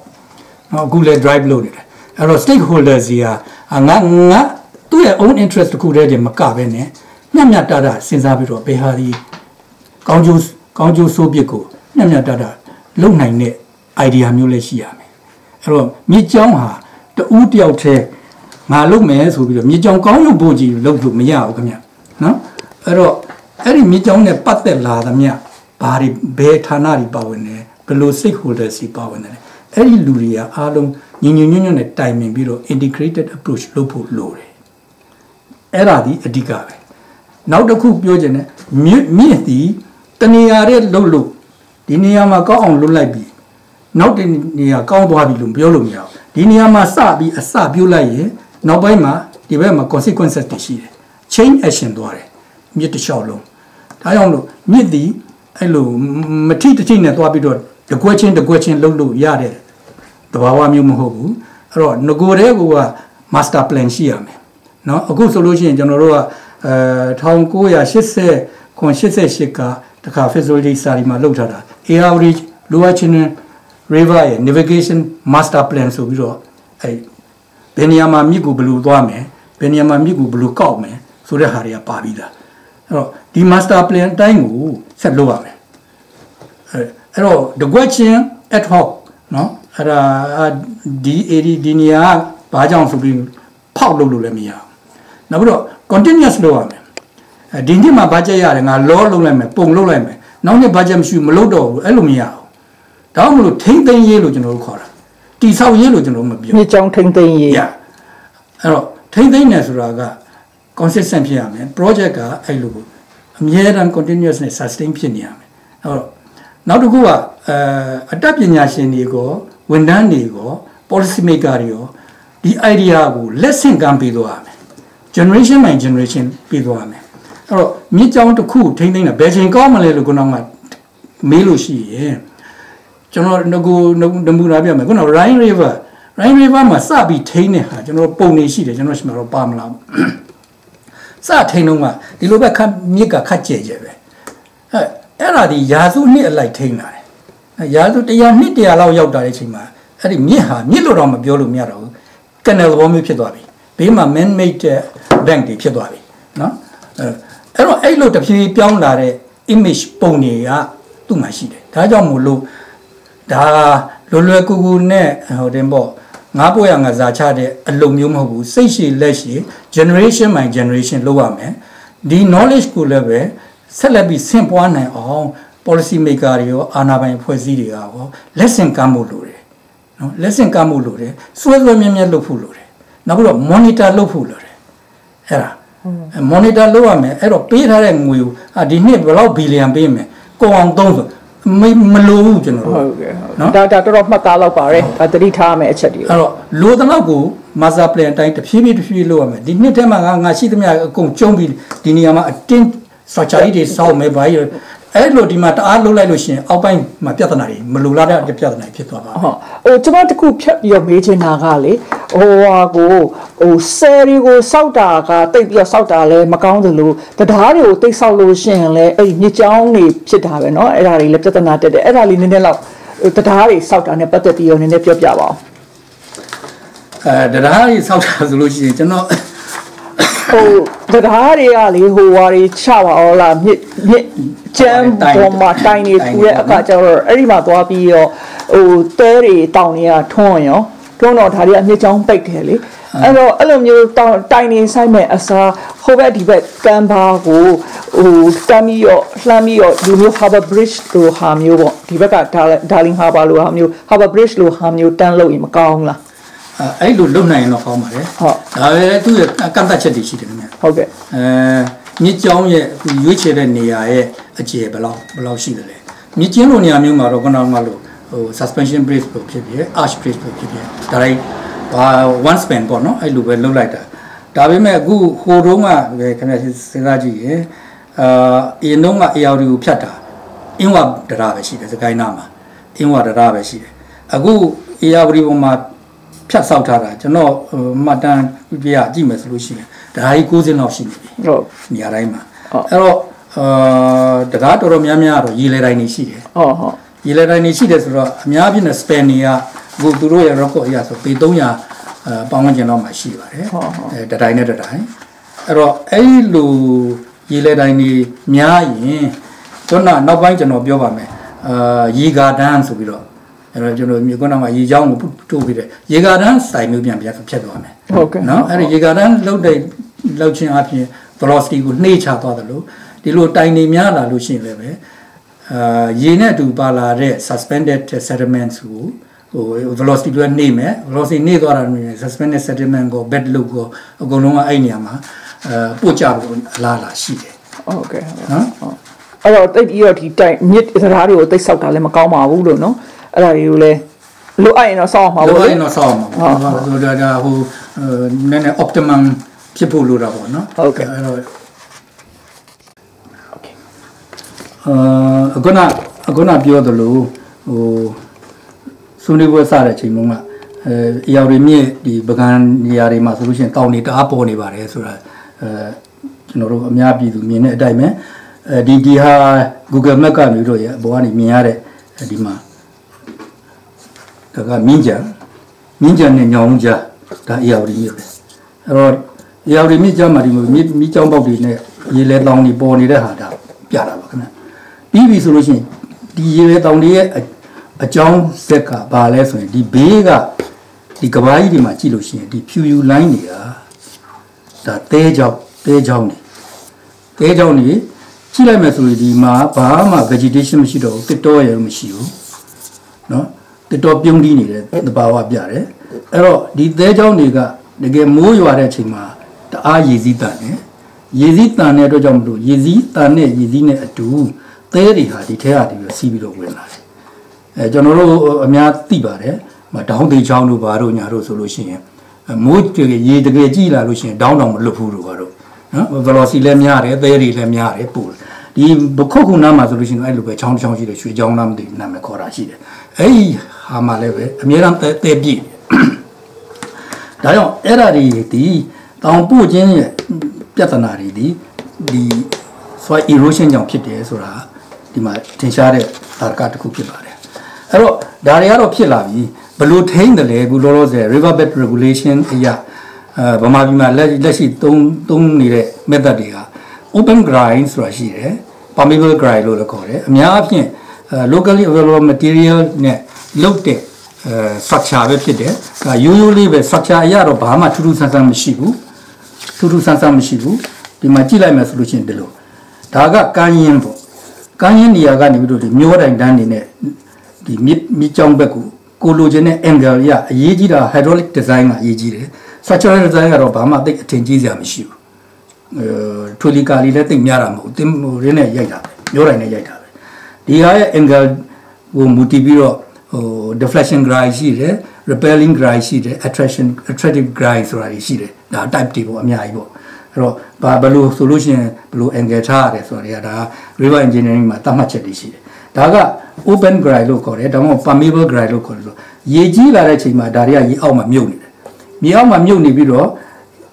ရေထဲမှာပါလာတဲ့ရေစည်းကြောင်းဟာဒီကြားထဲကိုဖြတ်စီးတယ်ရေစည်းကြောင်းနဲ့အတူ sediment စီပါတယ် sediment suspension sediment ပါတယ်နောက်ပြီးတော့ bed load လည်းပါတယ် bed load ဆိုတာဒီမြစ်ကြမ်းမြေမှာလိမ့်လိမ့်လိမ့်လိမ့်ပြီးစီးတဲ့နည်းနည်းအရွယ်ကြီးတဲ့အဲသဲတို့နှုံးတို့ကြောက်တို့ပေါ့နော်အဲအဲ့ဓာတွေဟာဒီထဲမှာဝင်ပြီးတော့ပို့တယ်ပို့ပြီးတော့ဒီကောင်းနေဒီနေရာကို तू ကပိတ်ချင်တာတောင်ဖို့ချင်တာအဲ့တော့ဒီဟာဒီဟာဒီဟာဒီဟာဒီထဲကိုဖြတ်ပြီးတော့တဖြည်းနောက်တစ်နှစ်ရေပြန်ကျတဲ့အချိန်မှာဒီပုံမှာသဲသဲပို့သွားပြီဒီနေရာရေတိမ်ဖြစ်သွားပြီရေတိမ်ဖြစ်သွားပြီးတော့ဟိုးဘက် သူလိုချင်တဲ့ရေနဲ့ပဲရေနဲ့ဘက်ကတော့ဟိုရေကိုလုံးပြီးတဲ့သဘောမျိုးပဲထိုနည်းတူပဲ another ဒီ function မျိုးပဲဒါကကြာကြာမခံဘူးတရားဒီလောက်တစ်နှစ်နှစ်နှစ်လောက်ဆိုပြဿနာပြီးသွားပြီအဲ့တော့ဒီမှာလည်းပဲဟိုတင်ပေါ့ဗျာ vandalism တွေအများကြီးရှိတယ်ခုခေတ်ဆိုပို့ဆိုးတယ်ဟိုထင်းမီရှားတာနဲ့ထင်းရှားတာပါညာနဲ့ပြပြဿနာတွေအများကြီးရှိတယ်နောက်ပြီးတော့ကိုအဲ့လိုမျောရဖို့ဆိုတာလည်းပဲတတော်တွေပြုံးပြီးပြီဆိုတော့ကတော်တော်ခက်ပြီ နော်ဒါတွေကတက်သားတွေနဲ့လောက်တာအဲမျောတိုင်းလို့ခေါ်တယ်မျောတိုင်းလို့ခေါ်တယ်နော်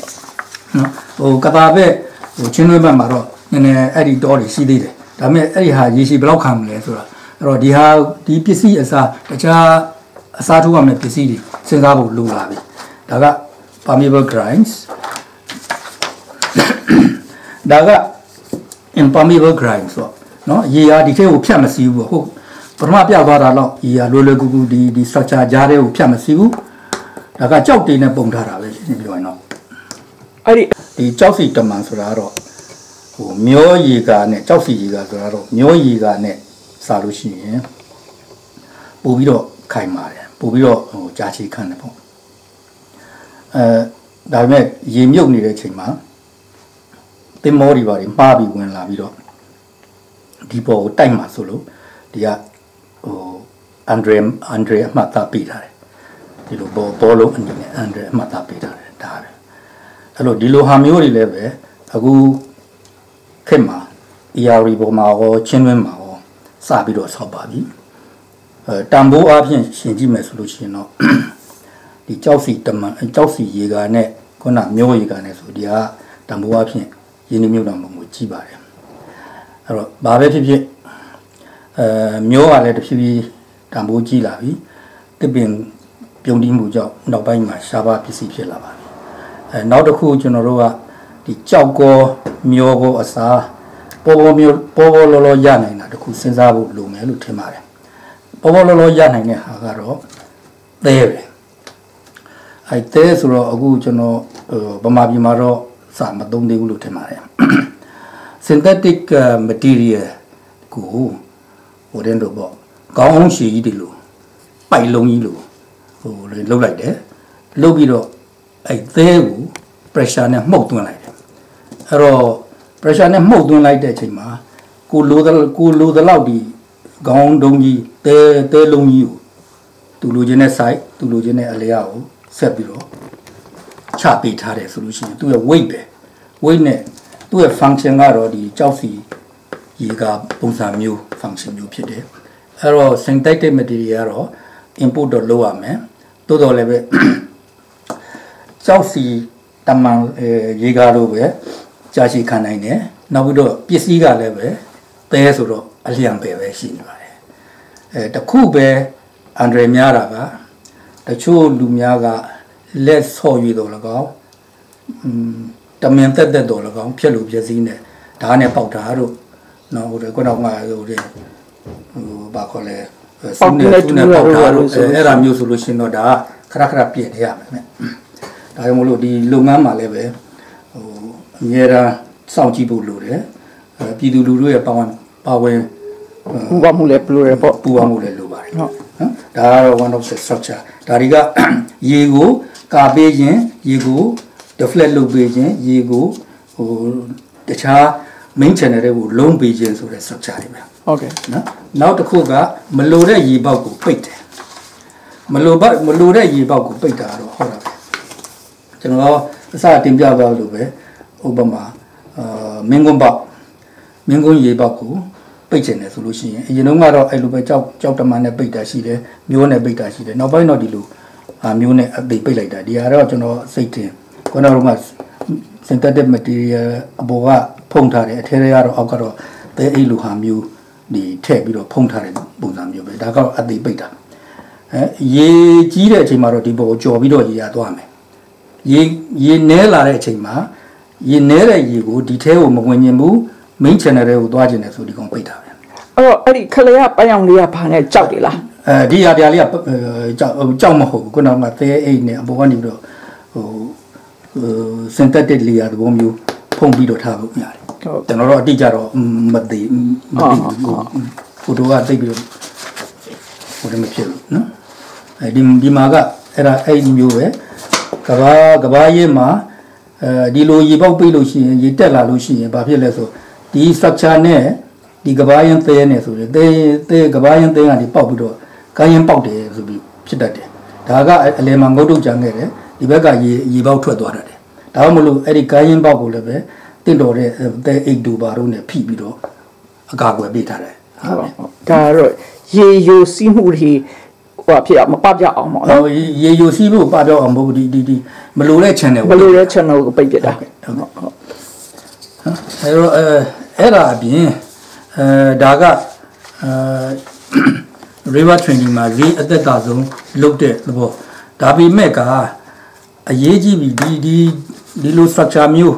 အဲ grind လို့ခေါ်တဲ့ရေကာလို့ခေါ်တဲ့ structure တွေကအဲရေကြီးလာတဲ့အချိန်မှာမှသူ့ရဲ့ function ကစတာပေါ့နော်တော့ဘောရေနည်းနေတဲ့အချိန်မှာတောင်ကပိတ်နေပြီသင်္ဘောသွားလို့မရဘူးဆိုတော့တကယ်အဲ့သင်္ဘောစိတ်ကလည်းပဲအရေးကြီးတယ်ဆိုလို့ရှိရင်နောက်ဆုံး solution ကပါလဲဆိုရင်တောင်တူးတာပဲတောင်တူးတာဟာအလွန်မဲ့ဈေးကြီးပါတယ်ကျွန်တော်ရှိတော့ကအဲ့ဒီအဲဟော်လန်ကဝယ်ထားတဲ့တောင်တူးဆက်တစ်ခုဆိုလို့ရှိရင်မြင်းကောင်ရေ1500လောက်ရှိတယ်အဲ့တော့ တစ်တစ်ခါလဲလို့ရှိရင်တစ်နာရီကိုဒီဇယ်တပုံးကုန်တယ်အဲ့တော့ကဒီဇယ်တပုံးဆို44ဂါလန်ပေါ့44ဂါလန်ဂါလန်50အဲတစ်နာရီလဲတာနဲ့အဲ့ဒီဇယ်ကုန်တယ်ဟိုတော့ကလည်း73စီအလွန်ရှားတယ်လို့ကြောင့်မလို့အဲတော်တော်ကိုစင်စင်စားစားနဲ့လုပ်ရပါတယ်တော့ channel အရှိကြီးလည်းတူးပြလို့မရဘူးအဲ့တော့ဒါဒီပုံကကြည့်ပါဒီပုံမှာ dredger ကဒီမှာဒီ dredger ကဒီမှာဒီမှာတိုင်လေး မြောက်နေတဲ့ညာဒီကမ်းရင်ကပါလဲဆိုလို့ရှိရင်ဂောဝင်စိတ်မန္တလေးအဝင်ဂောဝင်စိတ်ဂောဝင်စိတ်ဒီနားမှာရေပါနေတယ်အဲ့ဒါကြောင့်မို့လို့ तू ကသင်္ဘောတွေဝင်လို့ရအောင်ဒီမှာတောင်ကတူးနေတယ်အဲ့တော့ရေအောက်မှာတောင်တူးဆက်ကနေပြီးတော့တူးထုတ်လိုက်တဲ့ရေနဲ့သဲသဲနှုံးကိုဘယ်လိုလုပ်လဲဆိုတော့အဲ့ဒါကိုစုပ်လိုက်တယ်စက်ကနေစုပ်ပြီးတော့ ဒီလို wavy float လို့ခေါ်တယ်ဒါပိုက်ကြီးပဲရေပေါ်မှာပေါ်နေတယ်ဒီအနီးအနီးတွေက float တာပဲအနီးတွေရဲ့ကြားထဲမှာမှတန်ပိုက်ရှိတယ်အဲ့ဒီ wavy float ကိုကိုလိုချင်တဲ့နေရာအထိဆွဲသွားတယ်ဒါလည်းပဲသူ့ရဲ့ limit ရှိတော့ဗောလေများများကြီးမဆွဲနိုင်ဘူးစိတ်ရဲ့တွန်းအားပေါ်လဲမူတည်တယ်ဒီပစ္စည်းဘယ်လောက်လောက်အသုံးချနိုင်မလဲဆိုတဲ့ပေါ်လဲမူတည်တယ်အခုဒီပုံအရကြည့်မယ်ဆိုရင် ဒီထက်မှာရေနဲ့ဦးရအောင်တူးနေတဲ့ကံရင်နာကရေနဲ့ဦးရအောင်တူးနေတဲ့သဲတွေကိုဘယ်မှာသွားစွန့်ပစ်လဲဆိုလို့ရှိရင်ရေထဲပဲစွန့်ပစ်တာပဲဒီပုံကဒီမှာရေဒီမှာထွက်နေတာကစွန့်ပစ်တဲ့သဲလေရေရေပန်းပြီးထွက်တယ်အဲ့တော့ဒီနာဘာလို့လုပ်လဲဒီနာဘာလို့ပြစ်လဲဒီနာကငကိုတွေကတောင်တောင်ပါတောင်ပါကဘလို့မှသုံးလို့မရတဲ့တောင်ပါရေအောက်မှာရောက်နေတယ်ဒါမှမဟုတ်ဒီဘက်ကိုတင်ပေါ်လုံးဝမလာဘူး ဒါကြောင့်မလို့ဒီတောင်ပါပေါ်မှာခုနကရေနဲ့အိုးတဲ့ကိုတူးကျင်တဲ့ dread channel တွေကသဲတွေကိုဒီပေါ်လာတင်တာဒါအတိတ်ပဲဒီဒီ channel ဟာဘယ်ချိန်မှာပဲသုံးရမလဲဆိုလို့ရှိရင်အဲ့ဒီတရားဒီပဲသုံးပါဟမ်ရေနေတဲ့ယာတီတရားဒီပဲသုံးပါရေကြီးလာပြီဆိုလို့ရှိရင်ခုနကပေ30လောက်မြင့်ပြီဒါတွေလည်းအကုန်လုံးတောင်ပါကော channel ကောအောက်ရောက်ပြီဆိုလို့ရှိရင်ဒါတွေကရေတဲ့အောက်မှာပဲရောက်တယ်မှာအဲ့တော့ စီးဆင်းလာတဲ့ရေထုပမာဏနဲ့ velocity ပေါ်မှာမူတည်ပြီးတော့ခုနကပြစ်ထားတဲ့တောင်ပါတွေကလည်းပဲတခါ channel တဲ့ပြန်ကြာအောင်မှာပဲနော်ဒါကြောင့်မလို့ तू ကစင်ဆက်မပြတ်လုပ်ပြီးနေ recurrence nature ဖြစ်ပါတယ်ဒါကြောင့်ဟိုပစ္စည်းပစ္စည်းအနေနဲ့လည်းကုန်တယ်73စီနေလည်းလည်းကုန်တယ်နော်ထပ်တခါတလဲလဲလုပ်ရတဲ့ဈေးစကားဒီနဲ့ကုန်တဲ့အတွက်ကြောင့်မလို့ဒီ option ဟာ very expensive ဒါပေမဲ့ကမလွှဲမရှောင်တာတဲ့စီးပွားရေးတွက်ချေကိုက်မှုလိုအပ်တယ်ဒါမှမဟုတ်လို့တခြားအရေးကြီးတဲ့အဲရည်မှန်းချက်ရှိတဲ့နေရာမျိုးပဲသုံးလို့ရမယ်ဒါ very limited option တခုပါနော်နောက်ဒီမှာကြည့်ဒါကပမော်ရှိပမော်ရီလန်းကျွန်တော်အစပြပြီးပြီပမော်ရီလန်းရှိမှလည်းပဲအဲ့လို braided channel တွေဖြစ်နေတယ်အဲ့တော့ဘယ်လောက်ပဲဟိုကနောက်မှရေကာတွေလုတ်ပြီးမဲ့ ချက်ချင်းအကျိုးတက်ရောက်မှုမရှိဘူးဒီမောအရန်အမြန်တော့ဝင်လာဖို့ဒီယေရှုလိုတဲ့အတွက်ကြောင့်မို့ဒီမှာအရေးပေါ်တူပေးခြင်းဖြစ်တယ်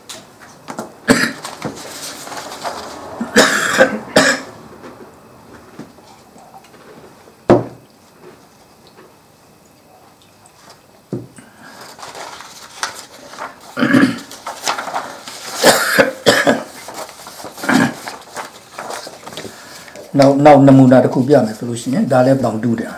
ဒါတောင်တူးဆက်အနီးကမြင်ရတာဒီက wavy float နဲ့ဒီကျွန်းပေါ်ကိုပြစ်တင်ထားတယ်တူးလို့ရတဲ့သဲကိုကျွန်းပေါ်ကိုပြစ်တင်ထားတာဒါသည်ဘယ်နေရာလဲဆိုလို့ရှိရင်ပကံရှိကတောင်လောကနန္ဒာရေပေါက်အဲလောကနန္ဒာတရားနာမှာအော် ရေပေးဝေရေးအတွက်ရေ pumps pumping station တခုရှိတယ်အဲ့ဒီ pumping station ကိုအေယာဝတီမြစ်ရေကအမြဲတမ်းရောက်တယ်ရေကြီးချိန်မှာတော်တော်လည်းရေနေတဲ့ချိန်မှာရေကမရောက်ဘူးဒီတောင်ကပိတ်နေတဲ့အတွက်ကြောင့်မို့ရေနေတယ်တူးလို့မရဘူးဟိုစုပ်လို့မရဘူးဒါကြောင့်မို့လို့အဲ့ဒီတောင်ကိုဖြတ်ပြီးတော့ဒါ pilot channel ဟိုဘက်ကရေကို ဒီဘက် pumping station အဲ့ဒါဘယ်နာလောက်လဲအဲလောကနန္ဒာဘောက်ဆိုတော့ဘူဖရာတဲ့ဘူဖရာရဲ့အောက်ဘက်ချမ်းလောက်ပေါ့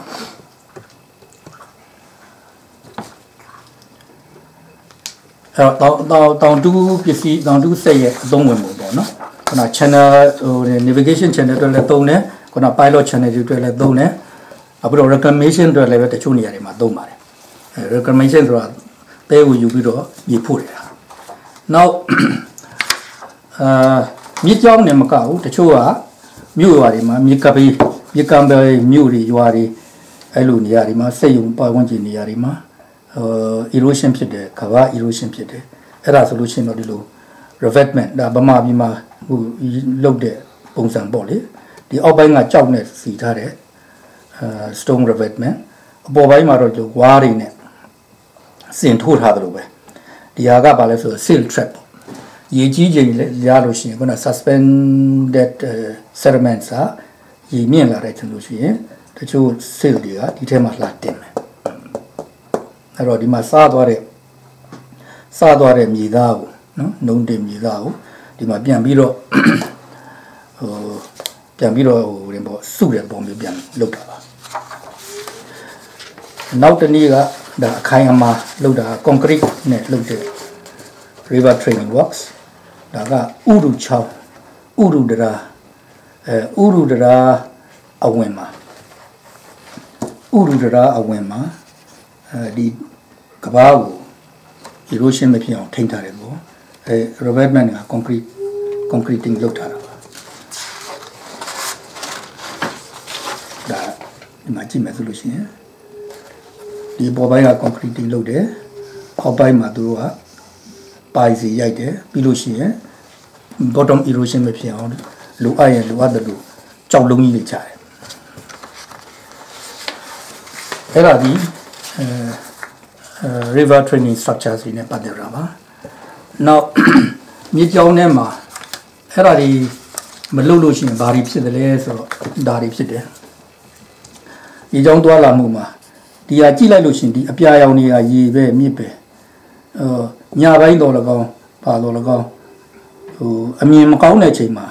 တင်းမောကခုတ်ခုတ်တယ်ခုတ်တော့လမ်းကြောင်းလွဲသွားပြီးတော့တောင်ပန်းနေရာသွားတင်တယ်အဲ့တော့တောင်ပန်းနေရာသွားတင်တော့ဒီကောင်ကဘလို့မှရှေ့တိုးနောက်ဆုံးလို့မရအောင်အဲ့ဒါဒါအေယာဝတီမှာတောင်တင်တဲ့ပုံပဲတခါတလေမှာဆိုလို့ရှိရင်ဘလို့မှဆွဲချလို့မရတဲ့အတွက်ကြောင့်မလို့တရားဒီစောင့်ရတယ်နောက်ထပ်ရေကြီးရာဒီရောက်သည်တိနော် ဒါဒါဒါ passenger cargo passenger cargo boat ပေါ့လေနော်နောက်တစ်ခုကဒီဘားကြီးပဲ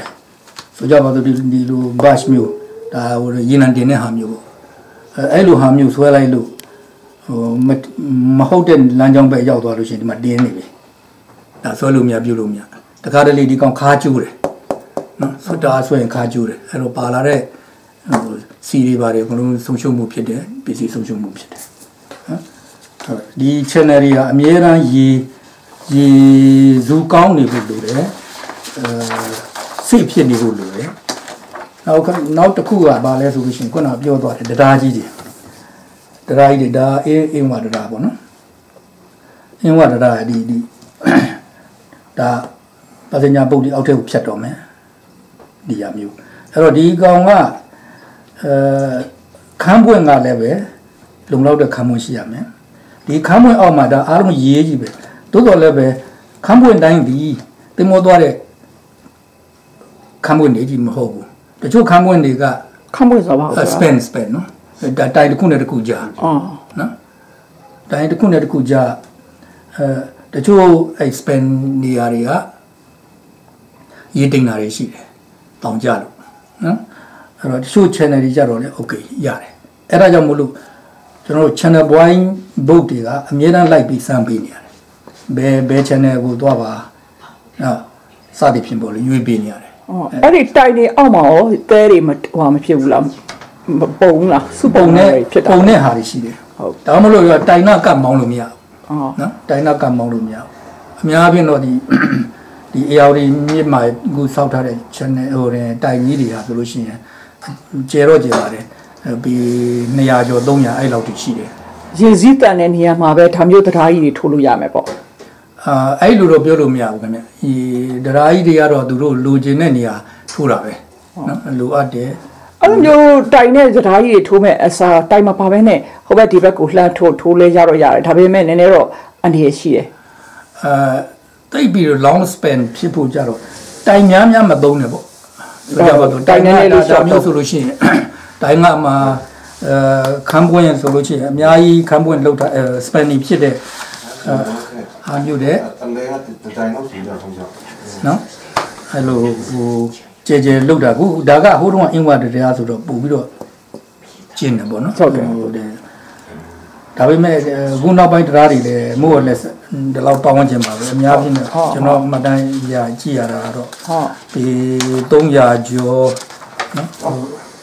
350ဟုတ်ဟုတ်အဲဝါခေမတရားတစ်ခုပဲဒီ980ရှိတယ်ဟုတ်ကဲ့ဟုတ်ကဲ့နော်ဟုတ်အဲ့ကဲ့တော့400စသည်ဖြင့်ပေါ့နော်အဲ့အဲ့ဒါမျိုးတွေရှိပါတယ်ဟုတ်နောက်အဲ့ဒီယရနာဘုံတရားစကိုင်းယရနာဘုံတရားကတော့သူခမ်းမွန်းက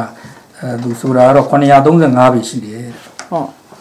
အဲ့တော့ဒီအဲ့ဒါအပြင်ဒါဘေးလိုက် clearance အပြင်ဒီ vertical clearance ပေါ့ vertical clearance ကဘယ်ချိန်မှာအရေးကြီးလဲဆိုအရေးကြီးတဲ့အချိန်မှာအရေးကြီးတယ်ဟုတ်နောက်ဆိုတင်မောတွေရဲ့အမြင့်တင်မောတွေရဲ့အမြင့်ဒီဘောကအလန်တိုင်းပေါ့ mass ပေါ့ဟိုဒီခေါင်းတိုင်းတို့ပါတော့အဲ့ဒါလွတ်ဖို့လွတ်မှဒီအောင်ဖြတ်လို့ရတယ်ဟုတ်ဟုတ်ရေတအားကြီးနေတယ်ဆိုရင်ဒါမလွတ်ဘူးဒါကြောင့်မလို့ तू က clearance site ကိုလည်း तू ကတတ်မှတ်ပေးထားတယ်ဟုတ်ဟုတ်ရေကြီးချိန်မှာဖြတ်လို့ရမလားမဖြတ်လို့မရဘူးလားဘယ်တင်မောလို့ဖြတ်လို့မရဘူးလဲဆိုတော့ဒါတွေကအမြဲတမ်းဒီလို IWT ဌာနကကောခုန Water Waste Department ကကောအမြဲတမ်းထုတ်ပြန်ပေးနေရတယ်ဟုတ်အဲ့တော့အခုအဲ့ဒီ channel marking ဆိုတဲ့ဟာကိုအခုရေလန်းထိမ့်သိမ်းရေးပေါ့အခုခုခေတ်တော့မြေချောင်းများ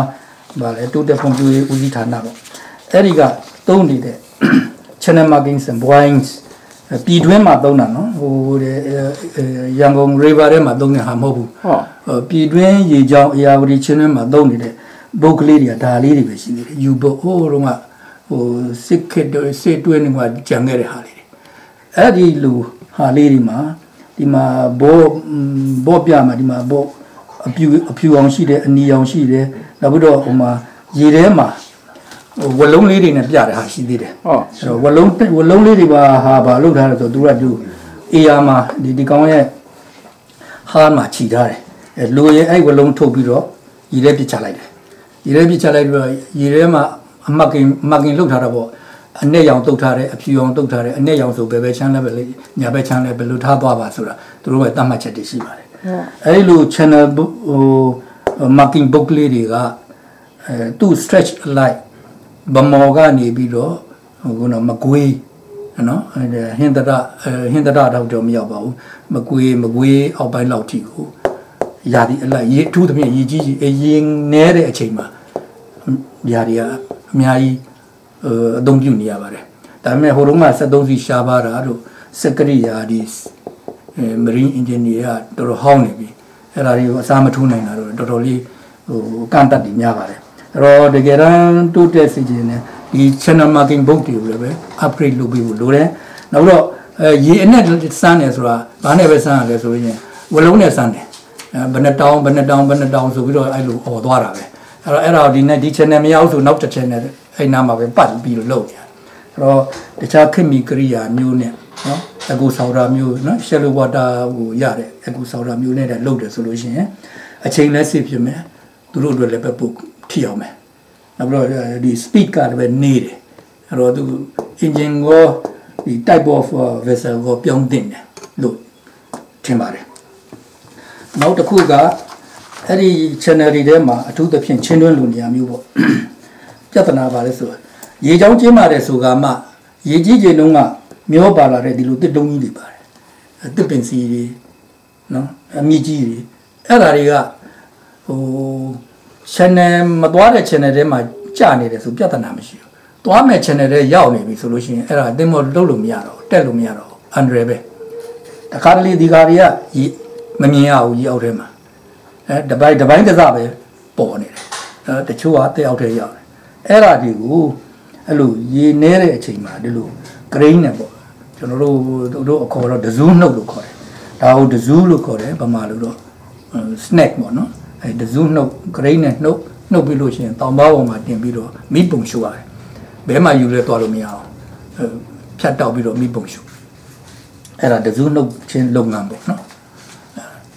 အဲ့တော့ဒါရေလန်းထိတ်သိမ်းရေးရဲ့လုပ်ငန်းနဲ့အဲသူ့ရဲ့ function တွေကတော့အဲ့ဒါကြီးအများဆုံးဖြစ်ပါတယ် โอเคဥကြဝင်းရှင်အခုဆိုလို့ရှိရင်တော်တော်ကြီးကိုစုံစုံလင်းလင်းကို အဲကျွန်တော်တို့ရှင်းပြသွားပါတယ်ဒီမြေချောင်းထိမ့်သိမ်းရေးနဲ့ပတ်သက်ပြီးတော့ဘယ်လိုတွေထိမ့်သိမ်းရသလဲထိမ့်သိမ်းဖို့နီလန်အမျိုးမျိုးကိုဓာတ်ပုံနေနဲ့ရှင်းပြသွားတာကိုလည်းအလွန်စိတ်ဝင်စားဖို့ကောင်းပါတယ်ကျွန်တော်တို့လည်းအများကြီးဝိသုတာရပါတယ်အဲ့တော့ကျွန်တော်တို့အဓိကဒီရွယ်ချက်ကတော့ဒီ documentary လေးကိုကြည့်တဲ့လူတွေအနေနဲ့စဉ်းစားစရာအချက်ကလေးတွေရလာမယ်လို့ကျွန်တော်တို့ကယူဆပါတယ် အဲ့တော့ကျွန်တော်တို့အဓိကဒီနေ့ဟို documentary ရဲ့အဓိကရွေချက်ကလည်းဘာလဲဆိုလို့ရှိရင်မြစ်ဆုံစီမံကိန်းကိုကျွန်တော်တို့ကပြန်စမှာပေါ့အလုံးအလုံးအလုံးအလုံးကိုကျွန်တော်တို့ကစိုးရိမ်နေပါတယ်ဟိုဟိုတလုံးကပဲတွေ့ပါတယ်အာတရုတ်နိုင်ငံခြားရေးဝန်ကြီးကနေပြီးတော့ဒီမြစ်ဆုံစီမံကိန်းကိုစဖို့အတွက်ကိုအကောင့်ထဲပေါ်ဖို့အတွက်ကျင်းသေးနေပြီးအခုအစိုးရအသစ်နဲ့လည်းညှိနှိုင်းပြီးနေပြီဆိုပြီးတော့ပြောလာတော့က ဒါတော်တော်ကြီးကိုရင်ဆိုင်မှုအပိုင်းကိုမြင်နေရပါတယ်အဲ့ဒါနဲ့ပတ်သက်ပြီးတော့မြစ်ဆုံစီမံကိန်းနဲ့ပတ်သက်ပြီးတော့နည်းနည်းလေးအစလေးချိပေးပါလားအဲ့တော့ဒေါက်တာအမွားနေပြီးတော့နည်းနည်းမြစ်ဆုံစီမံကိန်းအကြောင်းလေးကိုဆက်ပြီးတော့ပြောပါလိမ့်မယ်ဘယ်လောက်အထိအနေရရှိတယ်လဲဆိုတာအဲ့ဒါနည်းနည်းလေးအစချိပေးပါလို့ကျေးဇူးတင်ပါတယ်အာမြစ်ဆုံစီမံကိန်းနဲ့ပတ်သက်တာတော့သူ့ရဲ့အဲ site ရွေးထားတဲ့နေရာပေါ့ အဲ့ဒါမေခနဲ့မေလိခမြစ်ဆုံနေရာလို့ပြောတယ်အဲ့တော့မေခမေလိခပြီးလို့ရှိရင်စုံပြီးပြီဆိုလို့ရှိရင် AR တဲ့ရောက်ပြီအဲ့တော့အများအပြည့်လက်တလောကျွန်တော်တို့ multi purpose dam တို့ irrigation dam တွေပါစောက်ကြတာတွေကအဲ့လို main river ကြီးတွေပေါ်မှာမဆောက်ဘူးခင်ဗျနော် main main main river ပေါ်မှာမဆောက်ဘူးဥပမာဟိုဟိုမြစ်လက်တက်တွေပေါ့နော်မြစ်လက်တက်ဆိုတာအမ် main river တွေမှာဆောင်းရင်ဘာဖြစ်လို့လဲ မင်းရမတွေမှာစောက်တယ်ဆိုလို့ရှိရင် तू ကအာဂယုစိုက်ဖို့လည်းများတယ် impact ပေါ့နော်အဲတစုံတစ်ခုဖြစ်လာရင်အဲဘာခေါ်လဲ risk ကလည်းများလာတယ်ဟုတ်ကဲ့အလုံးကို design မိုင်းကို construction မိုင်းကိုနောက်ပိုင်းရေရှည် follow up လုပ်ပြီးတော့ monitor လုပ်ရမယ်အပိုင်းကိုဟုတ်ကဲ့အလုံးအရေးကြီးတဲ့ဟာတွေပါပါတယ်ဟုတ်ကဲ့အဲ့တော့လွယ်လွယ်ကူကူနဲ့ ဆုံးဖြတ်လွယ်လွယ်ကူကူနဲ့ design ပြီးပြီးရောဆိုတဲ့ဟာမျိုးခဏကျွန်တော်ပြောသလိုပဲ integrated approach aspect မဟုတ်ဘဲနဲ့ကိုလိုချင်တဲ့ hydro power ဆိုတဲ့ဟာလေးတစ်ခုတည်းကိုပဲဇောင်းပေးပြီးတော့ကအာဒါတော့ feasible ဖြစ်တယ်ဆိုပြီးတော့လှုပ်ထားတဲ့ကျန်တဲ့ aspect တွေကိုဘယ်လို negative aspect negative impact တွေရှိနိုင်မလဲဆိုတော့တေချာစဉ်းစားပြီးတော့အဲ့ဒါတွေကိုမပါဝင်အောင် အများကြီးစဉ်းစားဖို့လိုတယ်နော်ခုနကတော့ဒုတိယမြစ်လက်တက်ပုံမှာတတိယမြစ်လက်တက်ပုံမှာစတုတ္တမြစ်လက်တက်ပုံမှာဆောက်တဲ့တင်ကတစုံတစ်ခုပြက်ပြက်အောင်တော့သူ့မှာဟိုဂျားမှာ buffer တွေရှိတယ်အော်ဟုတ်ကဲ့နော်ဟုတ်ကဲ့ site လက်ဒီလောက်ကြီးကြီးဆောက်လို့ဟုတ်ကဲ့မဟုတ်မလုပ်ဖို့မလုပ်ဟုတ်ကဲ့အခုတော့ direct ကို ARD တဲ့တန်းဝင်မယ်အော်ပြဿနာတက်ရင်လည်းပဲခင်ဗျာအကြီးပဲပေါ့အကြီးကြီးပဲအကြီးကြီးပဲကခုနပြောလို့များတယ်မြစ်ပေါ်မှာ ဟိုမြစ်ပေါ်မှာသွားပြီးတော့တစုံတစ်ခုလှုပ်လို့ကတော့ဟိုကျွန်တော်ပြောသလိုတနေရာထဲမှာဖြစ်တဲ့ပြဿနာမဟုတ်ဘူးဟုတ်ကဲ့ခုန chain action နဲ့စင်ဆက်မပြတ်ဖြစ်သွားမယ်ဟုတ်ကဲ့။အိုးအောက်ခြေအထိပင်လယ်ဝအထိဆက်ပြီးတော့ဒါရဲ့ဆိုးကျိုးတွေဆက်ဖြစ်သွားမယ်။နောက်တစ်ခုကပြင်လို့လည်းမလွယ်ဘူးဟုတ်။နော်။အဲ့တော့ပြင်လို့မလွယ်တဲ့အပြင်ဘာဖြစ်နေလဲဆိုလို့ရှိရင်အာတရားဒီပဲပြဿနာဖြစ်တာဒါလေးတွေမဟုတ်မဟုတ်ဘူးဟုတ်မဟုတ်ဘူးစင်ဆက်မပြတ်အများ long long run ကိုအမျိုးမျိုးသော ဟိုမလူလားအပ်တဲ့အန်ဒရတွေနဲ့ဒုက္ခတွေရောက်မယ်ခုနဆိုကြပါစို့အဲ့မြစ်ဆုံတစ်ခုခုကြောင့်ပြိုတယ်ပြက်တယ် ဟုတ် purposely တော့၎င်း သူကဟိုထိတ်ဆုံးမှာဖြစ်နေတော့ထိတ်ဆုံးကစပြတ်တော့ခေါင်းပြတ်တယ်လို့ဖြစ်နေ အကောင်လုံးအကောင်လုံးခုနကတော့ကျွန်တော်တို့ navigation အတွက်ခုနလှုပ်လာတဲ့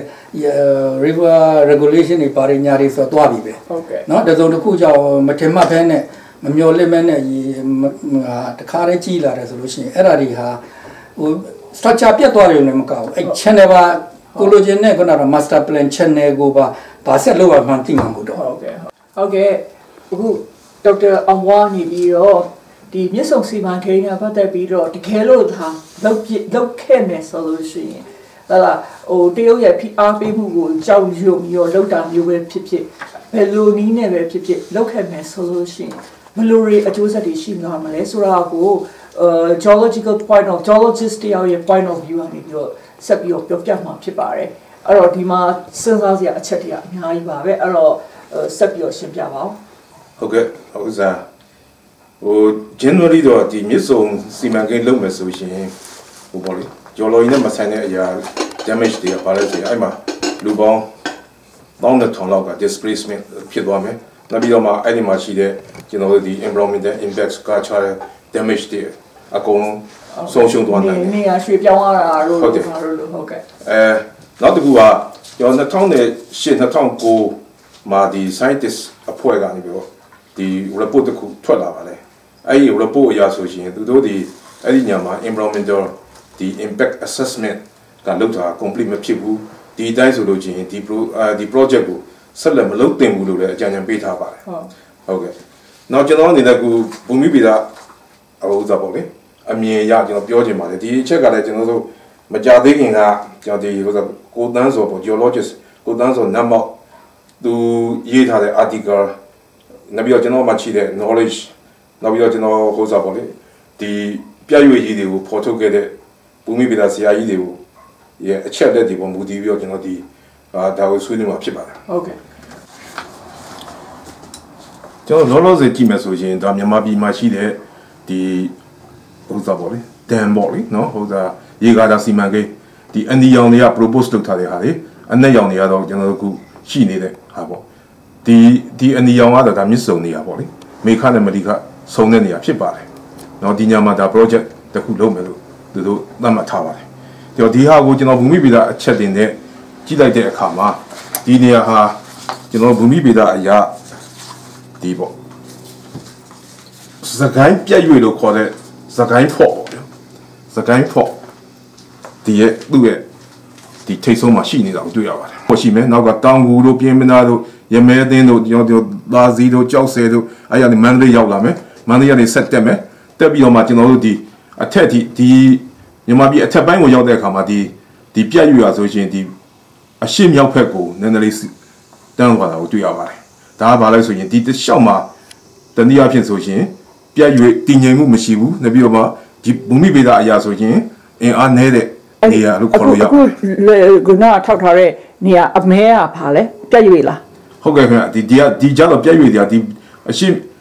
အရှိမြောက်ဖက်ကိုတန်းပြီးတော့မှကျွန်တော်ပြည့်ရွေပေါင်းများများအမဲပါအမဲတွေအားလုံးကပြည့်ရွေတွေဟုတ်ကဲ့ဒီအချောင်းလေးတွေပေါ့လေအော်နော်အဲ့အဲ့ဒါဘယ်ကနေပဲအထိလဲဆိုလို့ရှိရင်နောက်ဆုံးဒီကလည်းဆိုရင်ဒီနောက်ဆုံးပင်လယ်တဲ့အထိကျွန်တော်ဆက်သွားပါတယ်ဗျနောက်ပြီးတော့ဒီကနေစစ်တောင်းစစ်တောင်းတော့လျှောက်လားစစ်တောင်းတောက်လျှောက်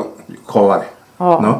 အဲ့အဲ့တလျှောက်ပါဆိုရင်ဒါပြည့်ရွေပါတနည်းအားဖြင့်ဆိုရင်အရင်တော့ကဒါကိုရှမ်းပါမ boundary fault လို့လည်းခေါ်ခဲ့ပါတယ်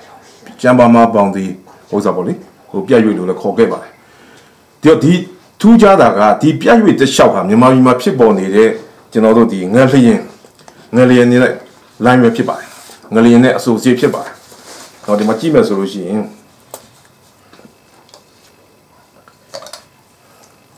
ဒီအနီအနီရောင်ကကျွန်တော်ငလျင်လုတ်တဲ့ဟာတွေပါ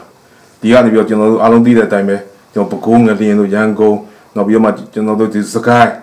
နော်နောက်ပြီးတော့တောက်လျှောက်ဒီငလျင်လုတ်တဲ့အကြောင်းတွေပါဒီတော့ဒီငလျင် line နဲ့ဒီစကိုင်းပြရွေပါကျွန်တော်ဒီအဆိုစိတ်ပဲတခုလေးဖြစ်နေတယ်ဒီတော့တောက်လျှောက်ဟာအခုမှအခုဒီအခုကနပြတဲ့ပုံမှာပြည့်ရွေရဖဲနေရလဲပြည့်ရွေကပြည့်ရွေပါလားနောက်နောက်တစ်ခုထည့်ထားအဲတယ်ပုံပြရွေကိုတင်းတင်းရှားရှား သိကြရင်ကျွန်တော်ရှိပါပုံတစ်ခုဟုတ်ဟုတ်ဒါတနည်းအားဖြင့်ဒီစကန်ပြရွေဒီမှာကဒီဇုံကဘာလဲဆိုဒီဘက်ကိုသူသွားနေတဲ့ပြရွေချောင်းလေးတွေဒါကိုပြောတာပါတနည်းအားဖြင့်ဒီအနီချောင်းတစ်လျှောက်ကဒါပြရွေပါဒါကဘာလဲဆိုရင်တနည်းအားဖြင့်ဒါမြေငလျင်တွေလုတ်တဲ့ဟာနှစ်ပြီးတော့ကကျွန်တော်တို့ဒီ seismic risk ဖြစ်တဲ့တောက်လျှောက်ပါဒါဆိုရင်အကုန်လုံးခုနကကျွန်တော် ပြောခဲ့တဲ့စစ်တောင်းမြေတစ်လျှောက်တောင်ကူပြင်းမနာနောက်ပြီးတော့နေပြည်တော်နောက်ပြီးတော့မန္တလေးဒါပဲအထက်ကိုတက်ပြီးတော့တောက်လျှောက်ဒါမြေငလျင်ဒီငငလျင်ချော်ကြီးပုံမှာပပပြီးရှိနေတယ်ပေါ့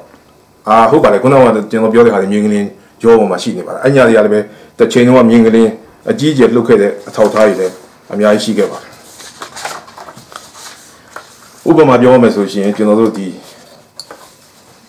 ဒီဟာပဲ ဒါဆိုရင်မြင်းကလေးလှုပ်ခဲ့တာဆိုရှင်ဒီဒါ1931 1946 1957နော်1946 1912 90တိုင်တာဘကူ90လာတီအဲဖြူမြင်းကလေးဒီတောက်လျှောက်မြင်းကလေးလှုပ်တဲ့နေရာပါအဲ့တော့ကကျွန်တော်တို့ဒီမြစ်ဆုံနေရာဟာပညာမရောက်နေတယ်ဒါကိုကြည့်မယ်ဆိုချင်းအဲ့ဒီ မြင်းကလေးဇုံပေါ်မှာကြောရောက်နေတာကိုတွေ့ရပါတယ်ဒါကဘာလဲဆိုချင်းဒီမှာအနီရောင်တွေရှိပါတယ်ကတ်ပုံနေရာကတ်ပုံ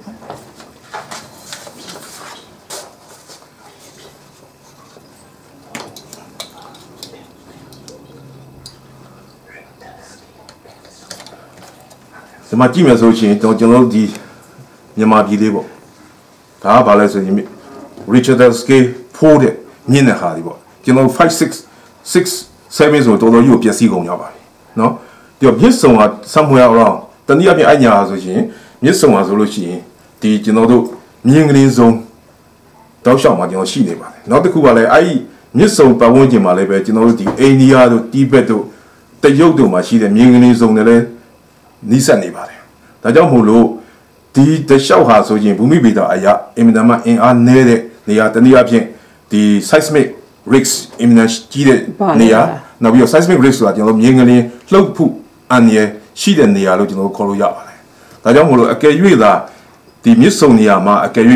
ဒီရေကားတော်တိဆောက်မယ်ဆိုလို့ရှိရင်ဒီနေရာဟာမြင်းကလေးလှုပ်နိုင်မှုအခြေအနေဟာအချိန်မျိုးဖြစ်လာနိုင်ပြီးဒီဆယ်ဟာလည်းပဲပြိုကျနိုင်ပါတယ်အချိန်မျိုးဒီလိုပြိုကျနိုင်မယ်ဆိုလို့ရှိရင်ကျွန်တော်တို့ကြီးမားတဲ့အန်ရဘာတွေလဲဆိုလို့ရှိရင်ကျွန်တော်တို့ဒီ 2009ခုနှစ်မှာဆူနာမီဆိုတာကျွန်တော်တို့မြန်မာပြည်အောက်ပိုင်းဒီအင်ဒိုနီးရှားအဲ့မှာဖြစ်ခဲ့ပါတယ်ဘယ်လောက်ထိလူတွေဆုံးရှုံးခဲ့တယ်ဒီဆူနာမီကဘာလဲဆိုရင်ပင်လယ်အောက်ဆူနာမီလို့ခေါ်ပါတယ်ခုဒီဆူနာမီကတော့အဲ့လိုဒါဒီပေါ်လေရေကားသားကြီးပြိုကျပြီးတော့မှဒီမြင်ကလေးကြောင့်ဖြစ်လာမယ်ဆိုလို့ရှိရင်ရေတွေရှံပြီးတော့ဒါအင်းလင်းဆူနာမီလို့ကုန်းတွင်းဆူနာမီလို့ခေါ်ပါတယ်ဒါဆိုချင်းအောက်ဖက်မှာကျွန်တော်တို့ဒီအသက်အန္တရာယ်ကြီးအကြီးအမား ဒုက္ခရောက်နိုင်ပါတယ်ဗမာပြည်တပြည်လုံးလှရှာနိုင်တယ်ပေါ့အဲစတဲ့ amount တီတော်တော်ကြီးကိုကြီးကျယ်သွားလိမ့်မယ်လို့ကျွန်တော်ယူဆပါတယ်ဒါကြောင့်မို့လို့ဖြစ်နိုင်ခြေ percentage အနေနဲ့ဆိုရာခိုင်နှုန်းဘယ်လောက်များမလဲခန့်မှန်းကြည့်အဲ့ဒါကတော့ကျွန်တော်တို့ဘာလဲဆိုရင်ဒီမြေငလေးမှာတော့ကျွန်တော်ဘယ်ညာမှာဘာဖြစ်မယ်ဘာဖြစ်မယ်ဆိုတော့ကျွန်တော်တို့ကြိုတင်ပြီးတော့မှန်းလို့တော့မရပါဘူးဒါမျိုးလို့ဒီညာဟာအန်ရရှိနေတယ်ဆိုတာကိုကျွန်တော်ပြောလို့တော့ရပါတယ်ဘာလို့လဲဆိုငလင်းချောင်းတစ်လျှောက်မှာကျွန်တော်တို့မြို့တွေအများကြီးရှိတယ်အဲ့မှာဆိုတချို့မြို့မှာရှိတယ်ဖြစ်တယ်တချို့မြို့တွေမဖြစ်သေးဘူး အဲဖြစ်ကောင်းဖြစ်မလားအဲ့ဒီဟာတွေကတော့ဒီမြစ်ဆုံ project မြစ်ဆုံစီအဲဟိုစားပေါ့လေဆဲဆောက်ချင်းဟာဒီငလင်းကျော်ပေါ်မှာရှိတယ်ငလင်းဇုံတယ်လည်းနီးစပ်နေတယ်နောက်ပြီးတော့မှကျွန်တော်တို့အင်မတန်မှဘူမိဗေဒအရအင်အားနေတဲ့အဲဟိုစားပေါ့လေဟိုစားပေါ့ဒီ form ပေါ့လေပြည့်ရွေးနေတယ်လည်းအစိုးစီဖြစ်နေတယ်ဒါကြောင့်မလို့ဒီညာဟာတနည်းအားဖြင့်ဆိုလို့ရှိရင်ဟိုစားပေါ့ stable မဖြစ်ဘူး unstable ဖြစ်နေတယ်အကယ်၍သာ ကျွန်တော်တို့ဒီမြင်ကလေးလှုပ်လိုက်မယ်ဆိုလို့ရှိရင်ဒီညာဟာဆယ်ဟာပြိုကျပြီးတော့မှဒီအင်လင်းဆူနာမီပေါ့လေအင်မကြီးမားတဲ့ဒုက္ခတွေရောက်ပြီးတော့မှအသက်အိုးအိမ်စိုးရိမ်စရာရှိပါတယ်ဒါကြောင့်မို့လို့ဒီဆယ်ဟာ stable မဖြစ်ဘူးလို့ကျွန်တော်ယူဆပါတယ်ဒီချက်လက်ပေါ်မူတည်ပြီးတော့မှဒီမြစ်ဆုံစီမံကိန်းကိုကျွန်တော်အနေနဲ့ပြောမလုပ်တင်ကြောင်းကျွန်တော်အနေနဲ့ပြောချင်ပါတယ်ဟုတ်ကဲ့ဟုတ်ကဲ့အခုကျမတို့ ဒီ documentary အဆိုလို့ရှိရင်အဲကျမတို့ဒီကုန်းချုပ်ပါတော့မယ်အခုအများကြီးကျမတို့ရှင်းပြခဲ့ပါတယ်အာဟိုဦးဒေါက်တာအောင်ဘွားနေပြီးတော့လေ point of view geological point of view ကနေပြီးတော့ဟာလာမြင်လင်းလှုပ်နိုင်တဲ့အကြောင်းတွေအဲနောက်ပြီးတဲ့အခါကျတော့အဲစိုးကြိုးတွေကိုအများကြီးပြောပြခဲ့တယ်လို့ဥကြုံဝင်းကနေပြီးတော့လေဒီမြေကြောင်ထိန်းသိမ်းရေးနဲ့ပတ်သက်ပြီးတော့ဘယ်လိုတွေထိန်းသိမ်းမလဲဆိုတဲ့အကြောင်းတွေကိုအများကြီးပြောပြခဲ့ပါတယ် အဲအဲ့တော့ဟိုတော်တက်ရှင်များအနေနဲ့ပေါ့အဲနောက်ပြီးတော့အခု